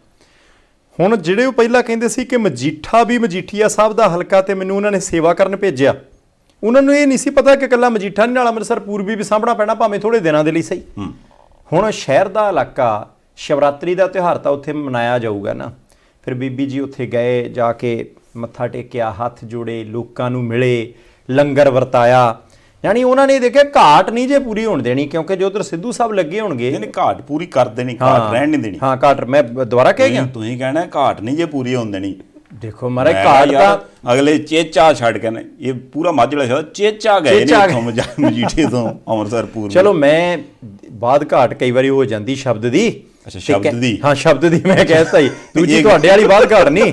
ਇਹ ਵੀ ਕੇਵਲ ਯਾਰ ਕੇਵਲ ਬਾਤ ਘੱਟ ਹੋ ਜਾਂਦੀ। ਤੇ ਬਾਕੀ ਇਦਾਂ ਕਿ ਬੀਬੀ ਜੀ ਹੁਣ ਜਿੱਦਾਂ ਸਰਗਰਮ ਹੋਏ ਆ ਇਹਦਾ ਮਤਲਬ ਹੈ ਕਿ ਆਉਣ ਵਾਲੇ ਦਿਨਾਂ ਦੇ ਵਿੱਚ ਹੁਣ ਉਹ ਹੋਰ ਜ਼ਿਆਦਾ ਗਤੀਸ਼ੀਲ ਹੋਣਗੇ। ਜੇ ਮਜੀ- ਹੁਣ ਮਜੀਠੀਆ ਸਾਨੂੰ ਪਤਾ ਲੱਗ ਗਿਆ ਹੀ ਕਿ ਭਾਈ ਜੇ ਮੈਂ ਸਾਰੇ ਪੰਜਾਬ ਦੀ ਵੀ ਰਾਜਨੀਤੀ ਕਰਾਂ ਜਾਂ ਮੈਂ ਦਿੱਲੀ ਵਾਲੀ ਰਾਜਨੀਤੀ ਦੇ ਵਿੱਚ ਵੀ ਚਲੇ ਜਾਂ ਤਾਂ ਬੀਬੀ ਜੀ ਹੋਰਾਂ ਨੇ ਕੰਮ ਜਿਹੜਾ ਉਹ ਮਗਰ ਸਾਂਭ ਲੈਣਾ ਹੈ। ਇਸੇ ਤਰ੍ਹਾਂ ਵਿਕਰਮ ਸਿੰਘ ਮਜੀਠੀਆ ਹੋਰਾਂ ਤੋਂ ਬਾਅਦ ਹੁਣ ਨਵਜੋਤ ਸਿੰਘ ਸਿੱਧੂ ਹੋਰੀ ਵੀ ਸਰਗਰਮ ਨੇ। ਉਹ ਕਹਿੰਦੇ ਜੀ ਕੇਂਦਰ ਨੇ ਧੱਕਾ ਕੀਤਾ ਕਿਉਂਕਿ ਭਾਖੜਾ ਬਿਆਸ ਮੈਨੇਜਮੈਂਟ ਬੋਰਡ ਦੇ ਉੱਤੇ ਪਿਛਲੇ ਕਈ ਦਿਨਾਂ ਦਾ ਰੌਲਾ ਪੈਂਦਾ ਸੀ। ਸਾਰੇ ਹੌਲੀ-ਹੌਲੀ ਬੋਲੇ ਸੀ ਪਰ ਨਾ ਚੰਨੀ ਸਾਹਿਬ ਬੋਲੇ ਸੀ ਨਾ ਸਿੱਧੂ ਸਾਹਿਬ ਬੋਲੇ ਸੀ। ਹੁਣ ਉਹਨਾਂ ਨੇ ਕੁਝ ਕਾਂਗਰਸੀ ਆਗੂ ਨੂੰ ਨਿਯੁਕਤੀ ਪੱਤਰ ਦਿੱਤੇ ਕਿ ਤੂੰ ਭਾਈ ਆ ਅਹੁਦੇਦਾਰ ਤੂੰ ਆ ਅਹੁਦੇਦਾਰ। ਤੇ ਨਾਲ ਹੀ ਉਹ ਕਹਿੰਦੇ ਕਿ ਨਾ ਕਾਂਗਰਸ ਪਾਰਟੀ ਜਰੂਗੀ ਨਾ ਮੈਂ ਜਰਨਾ। ਜਿੱਥੇ ਤੱਕ ਵੀ ਹੋ ਸਕਦਾ ਵਿਰੋਧ ਕਰਾਂਗੇ ਤੇ ਪੰਜਾਬ ਨੂੰ ਪੰਜਾਬ ਦਾ ਹੱਕ ਦਵਾ ਕੇ ਰਹਿਣਾ। ਜੇ ਉਧਰ ਬੀਬੀ ਗਨੀਬ ਕੌਰ ਮਜੀਠੀਆ ਸਰਗਰਮ ਹੋ ਗਏ ਤੇ ਇਧਰ ਨਵਜੋਤ ਸਿੰਘ ਸਿੱਧੂ ਵੀ ਸਰਗਰਮ ਨੇ ਨਹੀਂ ਸਰਗਰਮ ਤਾਂ ਹੁਣ ਸਾਰੇ ਹੀ ਹੋਏ ਨੇ। ਦੇਖੋ ਬੀਬੀਐਮਬੀ ਵਾਲਾ ਵਿਸ਼ਾ ਇੱਕ ਐਸਾ ਮਿਲ ਗਿਆ ਉਹਨਾਂ ਨੂੰ ਪਤਾ ਕਿ ਵੀ ਜੇ ਹੁਣ ਇਹ ਮੁੱਦਾ ਨਾ ਚੁੱਕਿਆ ਤੇ ਫਿਰ ਕਰਾਂਗੇ ਕੀ। ਜੀ। ਪਰ ਗੱਲ ਇਹ ਹੈ WhatsApp ਵੀ ਜਿਸ ਹਿਸਾਬ ਨਾਲ ਉਹ ਸ਼ੁਰੂ ਤੋਂ ਕੰਮ ਚੱਲਿਆ ਹੌਲੀ ਹੌਲੀ ਪੂੰਝ ਕੇ ਪਾਸੇ ਪੂੰਝ ਕੇ ਪਾਸੇ ਇਧਰੋਂ ਪੂੰਝ ਕੇ ਥੋੜਾ ਜਿਹਾ ਪਾਸੇ ਮਤਲਬ ਪਤਾ ਨਹੀਂ ਕਿਉਂ ਜਿੱਦਾਂ ਉਹ ਗਮਲੇ 'ਚ ਬੂਟਾ ਜਿਹਾ ਲੱਗਾ ਹੁੰਦਾ ਨਿਗਾ ਉਹਦੀ ਕਾਂਡ ਛਾਂਡ ਵਾਲਾ ਕੰਮ ਹੁੰਦਾ ਨਾ।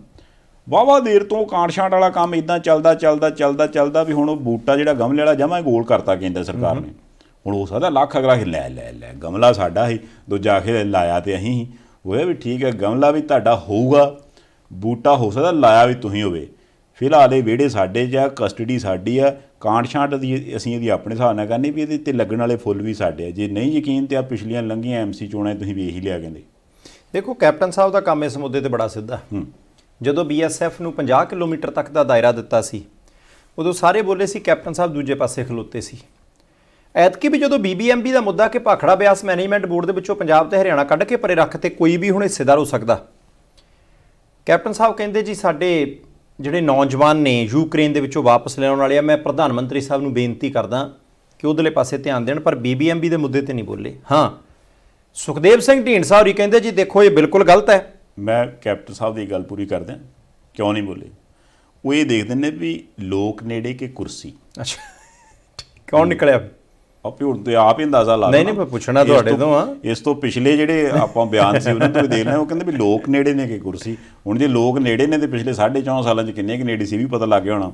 ਤੇ ਕੁਰਸੀ ਉਦੋਂ ਵੀ ਨੇੜੇ ਸੀ ਤੇ ਗਾਂ ਵੀ ਨੇੜੇ ਹੋਣ ਦੀ ਆਸ ਉਮੀਦ ਹੈਗੀ ਤੇ ਫਿਰ ਜਿੱਧਰੋਂ ਆਸ ਹੋਵੇ ਵੀਰ ਫਿਰ ਉਧਰ ਹੀ ਹੁੰਦਾ ਫਿਰ ਐਵੇਂ ਨਹੀਂ ਹੁਣ ਦੇਖੋ ਤੁਸੀਂ ਢੀਂਡਸਾ ਸਾਹਿਬ ਸੀਟਾਂ ਪਤਾ ਨਹੀਂ ਪਾਰਟੀ ਨੂੰ ਕਿੰਨੀਆਂ ਮਿਲਣੀਆਂ ਕਿਉਂਕਿ 15 ਤੇ ਹੀ ਲੜੇ ਆ। ਉਹ ਕਹਿੰਦੇ ਮੈਂ ਚੱਲਿਆ ਦਿੱਲੀ ਇਹ ਗੱਲ ਗਲਤ ਹੈ ਧੱਕਾ ਹੈ ਇਦਾਂ ਨਹੀਂ ਹੋਣਾ ਚਾਹੀਦਾ। ਮੈਂ ਦੇਸ਼ ਦੇ ਗ੍ਰਹਿ ਮੰਤਰੀ ਅਮਿਤ ਸ਼ਾਹ ਸਾਹਿਬ ਨੂੰ ਮਿਲੂੰਗਾ। ਪਹਿਲਾਂ ਵੀ ਕਈ ਮੁਲਾਕਾਤਾਂ ਹੋਈਆਂ ਬੰਦੇ ਚੰਗੇ ਨੇ। ਜੇ ਗੱਲ ਦੱਸੀਏ ਤਾਂ ਸੁਣਦੇ ਵੀ ਨੇ ਤੇ ਸਮਝ ਕੇ ਫਿਰ ਕਰਦੇ ਵੀ ਨੇ। ਕਹਿੰਦੇ ਉਹਨਾਂ ਨੂੰ ਦੱਸ ਕੇ ਆਉਣਾ ਕਰਾਵਾਂਗੇ। ਭਾਖੜਾ ਬਿਆਸ ਮੈਨੇਜਮੈਂਟ ਬੋਰਡ ਦੇ ਵਿੱਚ ਪੰਜਾਬ ਦਾ ਪਹਿਲਾਂ ਵਾਲਾ ਜਿਹੜਾ ਰੁਤਬਾ। ਢੀਂਡਸਾ ਸਾਹਿਬ ਬਹਾਲ ਕਰਾਉਣਗੇ। ਪਤਾ ਨਹੀਂ ਕੈਪਟਨ ਸਾਹਿਬ ਨਾਲ ਨਹੀਂ ਗਏ। ਨਹੀਂ ਪਰ ਮੈਨੂੰ ਆਸ ਹੈ ਵੀ ਹੋ ਜਾਣਾ। ਕਿਉਂਕਿ ਜੇ ਤੇ ਢੀਂਡਸਾ ਸਾਹਿਬ ਵੀ ਚੁੱਪ ਰਹਿੰਦੇ ਜੀ। ਫਿਰ ਹੋ ਸਕਦਾ ਹੈ ਵੀ ਉੱਪਰੋਂ ਕੋਈ ਆਸ ਨਾ ਹੋਵੇ। ਪਰ ਜੇ ਢੀਂਡਸਾ ਸਾਹਿਬ ਬੋਲੇ ਨੇ ਤੇ ਇਹਦਾ ਮਤਲਬ ਹੋ ਸਕਦਾ ਵੀ ਕਿਤੇ ਨਾ ਕਿਤੇ ਉਧਰੋਂ ਹਾਮੀ ਭਰੀ ਗਈ ਹੋਵੇ ਤੇ ਆਂਦੇ ਨੇ ਵੀ ਨਹੀਂ ਕੋਈ ਨਹੀਂ ਦਿਓ ਬਿਆਨ। ਦੇਖ ਲੈਣੇ ਵਿਚਾਰ ਲੈਣੇ ਅਸੀਂ ਤੇ ਸਿਰਫ ਜਲਵਾ ਹੀ ਵਿਖਾਇਆ ਸੀ ਵੀ ਜੇ ਸਾਡਾ ਵਸ ਚੱਲੇ ਨਾ ਤੇ ਫਿਰ ਅਸੀਂ ਐ ਛਾਂਕ ਕੇ ਗੋਲ ਵੀ ਕਰ ਦਿੰਦੇ ਹੁੰਦੇ ਆ ਨਹੀਂ ਗੱਲ ਤਾਂ ਤੁਹਾਡੀ ਠੀਕ ਹੈ। ਹੁਣ ਜੇ ਢੀਂਡਸਾ ਸਾਹਿਬ ਗਏ ਨੇ ਤਾਂ ਮੋਹਾਲੀ ਦੇ ਵਿੱਚ ਹੀ ਇੱਕ ਧਰਨਾ ਲੱਗਿਆ। ਹੂੰ। ਬਲਦੇਵ ਸਿੰਘ ਸਿਰਸਾ ਹੋਰੀ ਲਾ ਕੇ ਬੈਠੇ ਜਗਜੀਤ ਸਿੰਘ ਡੱਲੇਵਾਲ ਸਾਹਿਬ ਨਾਲ ਸੀ ਵੱਡਾ ਇਕੱਠ ਕੀਤਾ। ਕਿ ਇਤਿਹਾਸ ਦੀਆਂ ਪੁਸਤਕਾਂ ਦੇ ਵਿੱਚ ਸਿੱਖ ਇਤਿਹਾਸ ਤੋੜਿਆ ਮਰੋੜਿਆ ਕਿਉਂ? ਮੈਂ ਹੈਰਾਨ ਸੀ, ਕਈ ਗੱਲਾਂ ਆਪਾਂ ਨੂੰ ਵੀ ਪਹਿਲੀ ਵਾਰੀ ਪਤਾ ਲੱਗਦੀਆਂ। ਸਿੱਖਿਆ ਮੰਤਰੀ ਪੰਜਾਬ ਸਰਕਾਰ ਜਲੰਧਰ ਕੈਂਟ ਤੋਂ ਕਾਂਗਰਸੀ ਐਮਐਲਏ ਪ੍ਰਗਟ ਸਿੰਘ ਹੋਰੀ ਉੱਥੇ ਗਏ। ਉਹ ਕਹਿੰਦੇ, ਜੀ ਦੱਸੋ ਹੁਕਮ ਕਰੋ ਕੀ ਗੱਲ ਹੈ ਉਹ ਕਹਿੰਦੇ, ਜੀ ਆ ਦੇਖੋ ਕਿਤਾਬਾਂ ਦੇ ਵਿੱਚ ਗੁਰੂ ਸਾਹਿਬ ਬਾਰੇ ਵੀ ਗਲਤ ਲਿਖਿਆ, ਸਿੱਖ ਇਤਿਹਾਸ ਦੇ ਬਾਰੇ ਵੀ ਗਲਤ ਲਿਖਿਆ ਆ ਸਾਡੀਆਂ ਮੰਗਾਂ। ਉਹ ਕਹਿੰਦੇ ਜੀ 5 ਤਰੀਕ ਤੱਕ ਮੈਂ ਇਨਕੁਆਰੀ ਮਾਰਕ ਕਰ ਦਿੱਤੀ ਆ ਕਿ 5 ਤਰੀਕ ਤੱਕ ਸਾਰੀ ਜਾਂਚ ਕਰਕੇ ਪ੍ਰਗਟ ਸਿੰਘ ਹੋਰੀ ਕਹਿੰਦੇ ਰਿਪੋਰਟ ਮੇਰੇ ਕੋਲ ਹੋਊ ਜਿਨ੍ਹਾਂ ਨੇ ਲਿਖੀਆਂ ਗਲਤ ਕਾਰਵਾਈ ਉਹਨਾਂ ਤੇ ਵੀ ਕਰਾਂਗੇ। ਜਿਹੜੇ ਬਾਅਦ ਵਿੱਚ ਸਮੀਖਿਆ ਬੋਰਡ ਬਣੇ ਹੁੰਦੇ ਆ ਕਿ ਭਾਈ ਤੁਸੀਂ ਇਹਨੂੰ ਦੇਖਣਾ ਹੈ ਕਿ ਠੀਕ ਹੈ ਉਹ ਵੀ ਪ੍ਰਗਟ ਸਿੰਘ ਹੋਰਾਂ ਨੇ ਵੀ ਕਿਹਾ ਕਿ ਉਹ ਤਨਖਾਹਾਂ ਲੈਂਦੇ ਸੀ ਮੁਫਤ ਨਹੀਂ ਸੀ ਕਰਦੇ। ਜੇ ਉਹਨਾਂ ਨੇ ਨਹੀਂ ਦੇਖੀ ਉਦਾਂ ਹੀ ਦਸਖਤ ਕਰਤੇ ਕਾਰਵਾਈ ਉਹਨਾਂ ਤੇ ਵੀ ਹੋਊ ਤੇ ਬਲਦੇਵ ਸਿੰਘ ਸਿਰਸਾ ਹੋਰੀ ਕਹਿੰਦੇ ਜੀ ਇੱਕ ਜਾਂਚ ਪਹਿਲਾਂ ਹੋਈ ਵੀ ਹੈ ਚਾਹੇ ਤੁਸੀਂ ਮੁੱਖ ਮੰਤਰੀ ਬਾਅਦ ਚ ਬਣੇ ਹੋ ਪਹਿਲਾਂ ਦੀ ਹੋਈ ਸਾਡੀ ਸੰਤੁਸ਼ਟੀ ਉਹ ਤੇ ਵੀ ਨਹੀਂ। ਉਹ ਵੀ ਅਧੂਰੀ ਜਾਂਚ ਹੈ ਉਹ ਵੀ ਦੁਬਾਰਾ ਕਰਾਓ ਕਹਿੰਦੇ ਕਰਾ ਦਿੰਨੇ ਆ। ਹੋਰ ਗੱਲ ਦੇਖੋ। ਬਲਦੇਵ ਸਿੰਘ ਸਿਰਸਾ ਹੋਰੀ ਕਹਿੰਦੇ 1994 ਤੋਂ ਲੈ ਕੇ ਹੁਣ ਤੱਕ ਗਲਤ ਸ਼ਬਦੀਆਂ ਕਿੰਨੇ ਸਿੱਖਿਆ ਮੰਤਰੀ ਬਣੇ ਕਿੰਨੇ ਐਜੂਕੇਸ਼ਨ ਸੈਕਟਰੀ ਸੀ। ਇੱਥੋਂ ਤੱਕ ਵੀ ਹੁਣ ਚਰਚਾ ਚੱਲਦੀ ਹੈ ਕਿ ਭਾਈ ਜਿਹੜੇ ਪੜਾਉਣ ਵਾਲੇ ਨੇ ਕੋਈ ਨਾ ਕੋਈ ਤਾਂ ਉਹਨਾਂ ਦੇ ਵਿੱਚੋਂ ਚਿੱਠੀ ਲਿਖਦਾ ਕਿ ਭਾਈ ਚਲੋ ਠੀਕ ਹੈ ਭਾਵੇਂ ਸਰਕਾਰ ਦੀ ਨੌਕਰੀ ਕਰਨੀ ਹੁੰਦੀ ਹੈ ਪਰ ਜੇ ਗਲਤ ਲਿਖਿਆ ਗਿਆ ਸੀ ਜੇ ਬਲਦੇਵ ਸਿੰਘ ਸਿਰਸਾ ਹੋਰਾਂ ਨੂੰ ਪਤਾ ਲੱਗ ਸਕਦਾ ਜਗਜੀਤ ਸਿੰਘ ਡੱਲੇਵਾਲ ਹੋਰਾਂ ਨੂੰ ਪਤਾ ਲੱਗ ਸਕਦਾ ਤਾਂ ਕਿਸੇ ਨਾ ਕਿਸੇ ਨੂੰ ਤਾਂ ਹੋਰ ਪਤਾ ਲੱਗਣਾ ਚਾਹੀਦਾ ਸੀ ਕਿੰਨੇ ਐਜੂਕੇਸ਼ਨ ਮਿਨਿਸਟਰ ਹੋਏ ਨੇ 1994 ਤੋਂ ਲੈ ਕੇ। ਕਈ ਕਈ ਪ੍ਰਿੰਟ ਛਪ ਗਏ ਉਹਨਾਂ ਕਿਤਾਬਾਂ ਦੇ ਉਦਾਂ ਹੀ ਛਾਪੀ ਜਾਂਦੇ ਆ। ਉਦਾਂ ਹੀ ਛਾਪੀ ਜਾਂਦੇ। ਵੈਸੇ ਇਹ ਇਹ ਜਦੋਂ ਕਿ ਜਦੋਂ 17 ਚ ਸਰਕਾਰ ਬਣੀ ਸੀ ਉਦੋਂ ਕਿ ਜਿਵੇਂ ਬੜਾ ਰੌਲਾ ਪਿਆ ਸੀ ਨਾ ਵੀ ਹਾਂਜੀ ਆਹ ਦੇਖੋ ਜੀ ਤੇ ਰੌਲਾ ਹੈ ਉਸੇ ਵਾਲਾ ਹੀ ਆ। ਜੀ। ਕਿ ਹੁਣ ਜੇ ਪ੍ਰਗਟ ਸਿੰਘ ਹੋਰਾਂ ਦੀ ਮੰਨੀਏ ਤੇ ਉਹ ਕਹਿੰਦੇ ਵੀ ਉਹ ਤੇ 17 ਦੇ ਵਿੱਚ ਜਿਹੜਾ ਰੌਲਾ ਪਿਆ ਸੀ ਉਸ ਤੋਂ ਬਾਅਦ ਰੋਕ ਦਿੱਤੀ ਸੀ ਵੀ ਹਾਂ ਵੀ ਅੱਜ ਤੋਂ ਬਾਅਦ ਇਹਦੀ ਛਪਾਈ ਨਹੀਂ ਹੋ ਸਕਦੀ। ਔਰ ਉਹ ਕਹਿੰਦੇ ਆ ਮੈਂ ਹੁਣ ਸਿਰਸਾ ਸਾਹਿਬ ਕੋਲ ਆਇਆ ਮੈਨੂੰ 2019 ਵਾਲਾ ਐਡੀਸ਼ਨ ਦਿਖਾਈ ਜਾਂਦੇ ਵੀ ਆਹ ਲੋ ਜੀ ਤੁਸੀਂ ਕਹਿੰਦੇ 17 ਤੋਂ ਬਾਅਦ ਛਪਣੀ ਨਹੀਂ ਤੇ ਆ 19 ਵਾਲਾ ਐਡੀਸ਼ਨ ਵੀ ਹੈਗਾ ਸਾਡੇ ਕੋਲੇ। ਇਹ ਅਸੀਂ ਹੁਣ ਚੈੱਕ ਕਰਾਵਾਂਗੇ ਵੀ ਕਿੱਦਾਂ ਹੋ ਗਿਆ। ਹੁਣ ਸਵਾਲ ਇਹ ਆ WhatsApp ਵੀ ਜੇ ਇਸ ਲੈਵਲ ਤੱਕ ਦਾ ਕੰਮ ਚੱਲੀ ਜਾਂਦਾ ਹੁਣ ਇਹ ਤਾਂ ਨਹੀਂ ਨਾ ਵੀ ਕਿਤਾਬ ਉਹਨਾਂ ਹੀ ਛਾਪ ਕੇ ਤੇ ਅੰਦਰਲੀ ਬਾਰੀ 'ਚ ਹੀ ਰੱਖ ਲਈ ਉਹਨਾਂ ਨੇ ਕਿਸੇ ਨੂੰ ਦੱਸੀ ਨਹੀਂ। ਜੇ ਤੇ ਇਦਾਂ ਫਿਰ ਤਾਂ ਚਲੋ ਆਪਾਂ ਮੰਨ ਸਕਦੇ ਹਾਂ। ਹੁਣ ਜਦੋਂ ਇੱਕ ਜਿਹੜੀ ਕਿਤਾਬ ਆ ਉਸ ਕਿਤਾਬ ਦੇ ਨਾਲ ਕਿੰਨੇ ਨਿਆਣਿਆਂ ਨੇ ਅੱਗੇ ਕਲਾਸਾਂ ਕਰ ਲੀਆਂ ਹੋਣਗੀਆਂ ਫਿਰ ਇਹ ਤੇ ਨਹੀਂ ਵੀ ਪਲੱਸ 2 ਕੋ ਨਿੱਕੀ ਕਲਾਸ ਉਹ ਵੀ ਬੋਰਡ ਦੇ ਇਮਤਿਹਾਨ ਹੋਣੇ ਜੀ। ਬੋਰਡ ਦੇ ਇਮਤਿਹਾਨਾਂ ਦੇ ਵਿੱਚ ਹਰੇਕ ਨਿਆਣੇ ਨੇ ਪੜ੍ਹਨਾ ਉੱਥੇ ਬਹਿ ਕੇ ਇਮਤਿਹਾਨ ਦੇਣਾ। ਫਿਰ ਜਿਹੜੇ ਸਵਾਲ ਪੁੱਛੇ ਜਾਣੇ ਉਹਨਾਂ ਸਵਾਲਾਂ ਨੂੰ ਚੈੱਕ ਕੀਤਾ ਜਾਣਾ ਚੈੱਕ ਕਰਕੇ ਰਿਜ਼ਲਟ ਬਣਨਾ ਸਾਰਾ ਕੁਝ ਹੁੰਦਾ। ਉਹ ਕਿਸੇ ਦੇ ਵੀ ਧਿਆਨ 'ਚ ਨਹੀਂ ਆਇਆ ਤੱਕ। ਪੌਣੇ 200 ਤੋਂ ਉੱਪਰ ਸ਼੍ਰੋਮਣੀ ਗੁਰਦੁਆਰਾ ਪ੍ਰਬੰਧਕ ਕਮੇਟੀ ਦਾ ਮੈਂਬਰ ਆ ਪੌਣੇ 200 ਤੋਂ ਉੱਪਰ। ਮੈਂ ਆਸ ਉਮੀਦ ਕਰਦਾ ਕਿ ਕਿਸੇ ਨਾ ਕਿਸੇ ਐਸਸੀਪੀਸੀ ਮੈਂਬਰ ਦਾ ਕੋਈ ਨਿੱਕਾ ਨਿਆਣਾ ਹੋ ਸਕਦਾ ਸਰਕਾਰੀ ਸਕੂਲ 'ਚ ਪੜਦਾ ਹੋਵੇ ਜਾਂ ਹੋ ਸਕਦਾ ਸਾਰੇ ਪ੍ਰਾਈਵੇਟ ਸਕੂਲਾਂ 'ਚ ਹੀ ਪੜਦੇ ਹੋਣ। ਪਰ ਜੇ ਪੜਦਾ ਘੱਟੋ ਘੱਟ ਉਹਨਾਂ ਨੂੰ ਪਤਾ ਲੱਗਣਾ ਚਾਹੀਦਾ ਸੀ ਦੂਸਰਾ। ਇੱਕ ਇੱਕ ਪਿੰਡ ਦੇ ਵਿੱਚ 5 5 6 6 ਗੁਰੂ ਘਰ ਵੀ ਹੈ। ਹੂੰ। ਹਰੇ ਗੁਰੂ ਘਰ ਦਾ ਪ੍ਰਧਾਨ ਹੋਏਗਾ ਹਰੇ ਗੁਰੂ ਘਰ ਦਾ ਕੋਈ ਨਾ ਕੋਈ ਸੈਕਟਰੀ ਹੋਏਗਾ।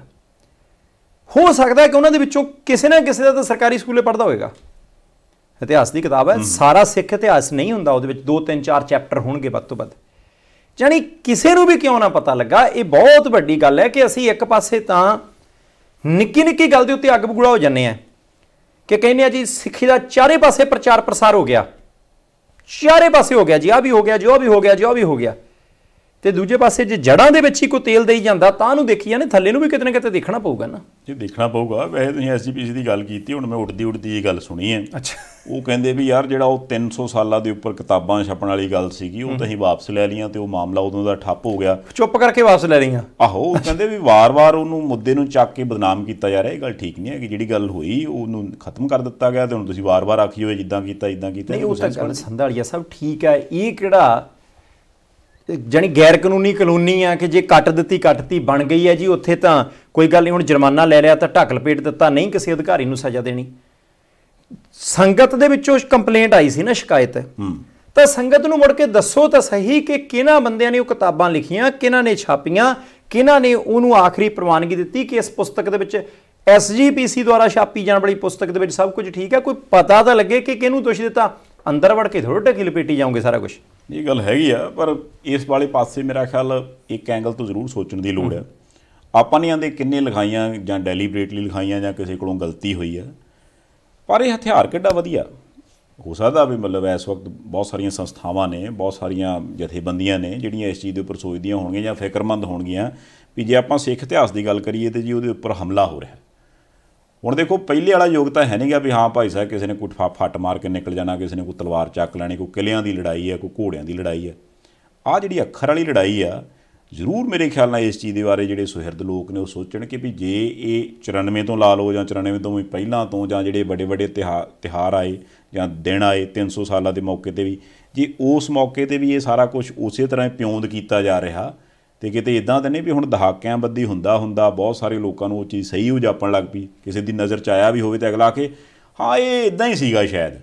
ਉਹਨੂੰ ਜ਼ਰੂਰ ਮੇਰੇ ਖਿਆਲ ਨਾਲ ਕੱਪੜ ਛਾਣ ਕਰਕੇ ਇੱਕ ਤਰ੍ਹਾਂ ਸਹੀ ਕਰਕੇ ਤੇ ਦਰੁਸਤ ਕਰ ਲਿਆ ਜਾਵੇ, ਤਾਂ ਜੋ ਅੱਜ ਤੋਂ 10 15 20 25 30 ਸਾਲ ਬਾਅਦ ਦੁਬਾਰਾ ਇਹਨਾਂ ਚੀਜ਼ਾਂ ਦੀ ਉਦਾਹਰਨ ਦੇ ਕੇ ਕੋਈ ਸਾਡਾ ਸਿਰ ਨਾ ਨਾ ਪਾੜਦਾ ਫਿਰ ਲੈ, ਤੂੰ ਅੱਜ ਆਖੀ ਨਾ ਇਦਾਂ ਆ ਦੇਖ ਤੁਹਾਡੀਆਂ ਕਿਤਾਬਾਂ 'ਚ ਲਿਖਿਆ। ਨਹੀਂ, ਜ਼ਰੂਰ, ਉਹ ਤਾਂ ਜਿੰਨਾ ਵਧੀਆ ਸਬੂਤ ਇਹ ਬਣ ਰਿਹਾ ਨਾ ਉਹਨਾਂ ਲੋਕਾਂ ਦੇ ਲਈ ਹੋਰ ਉਹਨਾਂ ਨੂੰ ਕੋਈ ਤੇ ਲੋੜ ਹੀ ਨਹੀਂ ਇਧਰ ਉਧਰ ਭੱਜਣ ਦੀ। ਜਿਹੜੇ ਕਹਿੰਦੇ ਨੇ ਜੀ ਜਬਰੀ ਕਰ ਰਿਹਾ ਜੇ ਉਹ ਗਲਤ ਬਿਆਨੀ ਕਰ ਰਿਹਾ ਉਹਨਾਂ ਦੇ ਕੋਲੇ ਤਾਂ ਸਭ ਕੁਝ ਪਿਆ ਗਲਤ ਬਿਆਨੀ ਕਰਨ ਦੀ ਲੋੜ ਹੀ ਨਹੀਂ। ਤੁਸੀਂ ਆਪ ਹੀ ਬਿਆਨੀ ਉਹ ਕਰੀ ਜਾਂਦੇ ਹੋ। ਬਾਕੀ ਸੰਧਾਲੀਆ ਸਭ ਯੂਕਰੇਨ ਵਾਲੇ ਪਾਸੇ ਨੂੰ ਚਲੀਏ ਕਿਉਂਕਿ ਦੁਨੀਆ ਦਾ ਇੱਕ ਖਿੱਤਾ ਜਿੱਥੇ ਲੜਾਈ ਲੱਗੀ ਹੋਆ। ਹੁਣ ਭਾਰਤ ਸਰਕਾਰ ਦੇ ਚਾਰ ਮੰਤਰੀ ਕਿਰਨ ਰਜੀਜੂ ਸਾਹਿਬ ਹਰਦੀਪ ਸਿੰਘ ਪੁਰੀ ਜੋਤਰੀ ਦਿੱਤੀ ਸਿੰਧੀਆ ਤੇ ਵੀਕੇ ਸਿੰਘ ਸਾਹਿਬ। ਉਹ ਚਾਰੇ ਚਲੇ ਗਏ ਪੋਲੈਂਡ, ਰੋਮਾਨੀਆ, ਸਲੋਵਾਕੀਆ ਤੇ ਹੰਗਰੀ। ਇਹ ਚਾਰੇ ਉਹ ਦੇਸ਼ ਨੇ ਜਿਹੜੇ ਯੂਕਰੇਨ ਦੇ ਨਾਲ ਜਿਨ੍ਹਾਂ ਦੀਆਂ ਹੱਦਾਂ ਲੱਗਦੀਆਂ ਤੇ ਇਹਨਾਂ ਚਾਰਾਂ ਦੇਸ਼ਾਂ ਦੇ ਵਿੱਚ ਹੀ ਭਾਰਤੀ ਜਿਹੜੇ ਵਿਦਿਆਰਥੀ ਨੇ, ਉਹ ਯੂਕਰੇਨ ਦੇ ਵਿੱਚੋਂ ਬਚ ਬਚਾ ਕੇ ਉਹਨਾਂ ਦੇਸ਼ਾਂ 'ਚ ਪਹੁੰਚ ਰਿਹਾ ਤੇ ਉੱਥੋਂ ਉਹਨਾਂ ਨੂੰ 에ਅਰਲਿਫਟ ਕੀਤਾ ਜਾ ਰਿਹਾ ਆਪਰੇਸ਼ਨ ਗੰਗਾ ਦੇ ਤਹਿਤ। ਦੂਸਰਾ ਪ੍ਰਧਾਨ ਮੰਤਰੀ ਸਾਹਿਬ ਲਗਾਤਾਰ ਹਾਈ ਲੈਵਲ ਮੀਟਿੰਗਸ ਕਰ ਰਹੇ ਆ, ਮੋਦੀ ਸਾਹਿਬ। ਹੁਣ ਉਹਨਾਂ ਨੇ ਕਿਹਾ ਕਿ ਐਵਰੇਜ ਰੋਜ਼ 7 ਤੋਂ 8 ਫਲਾਈਟਾਂ ਚਲਾ ਕੇ ਦੋ ਦਰਜਨ ਤੋਂ ਵੱਧ ਫਲਾਈਟਾਂ ਤਿੰਨਾਂ ਦਿਨਾਂ 'ਚ ਜਾਣਗੀਆਂ ਇਹਨਾਂ ਦੇਸ਼ਾਂ ਨੂੰ।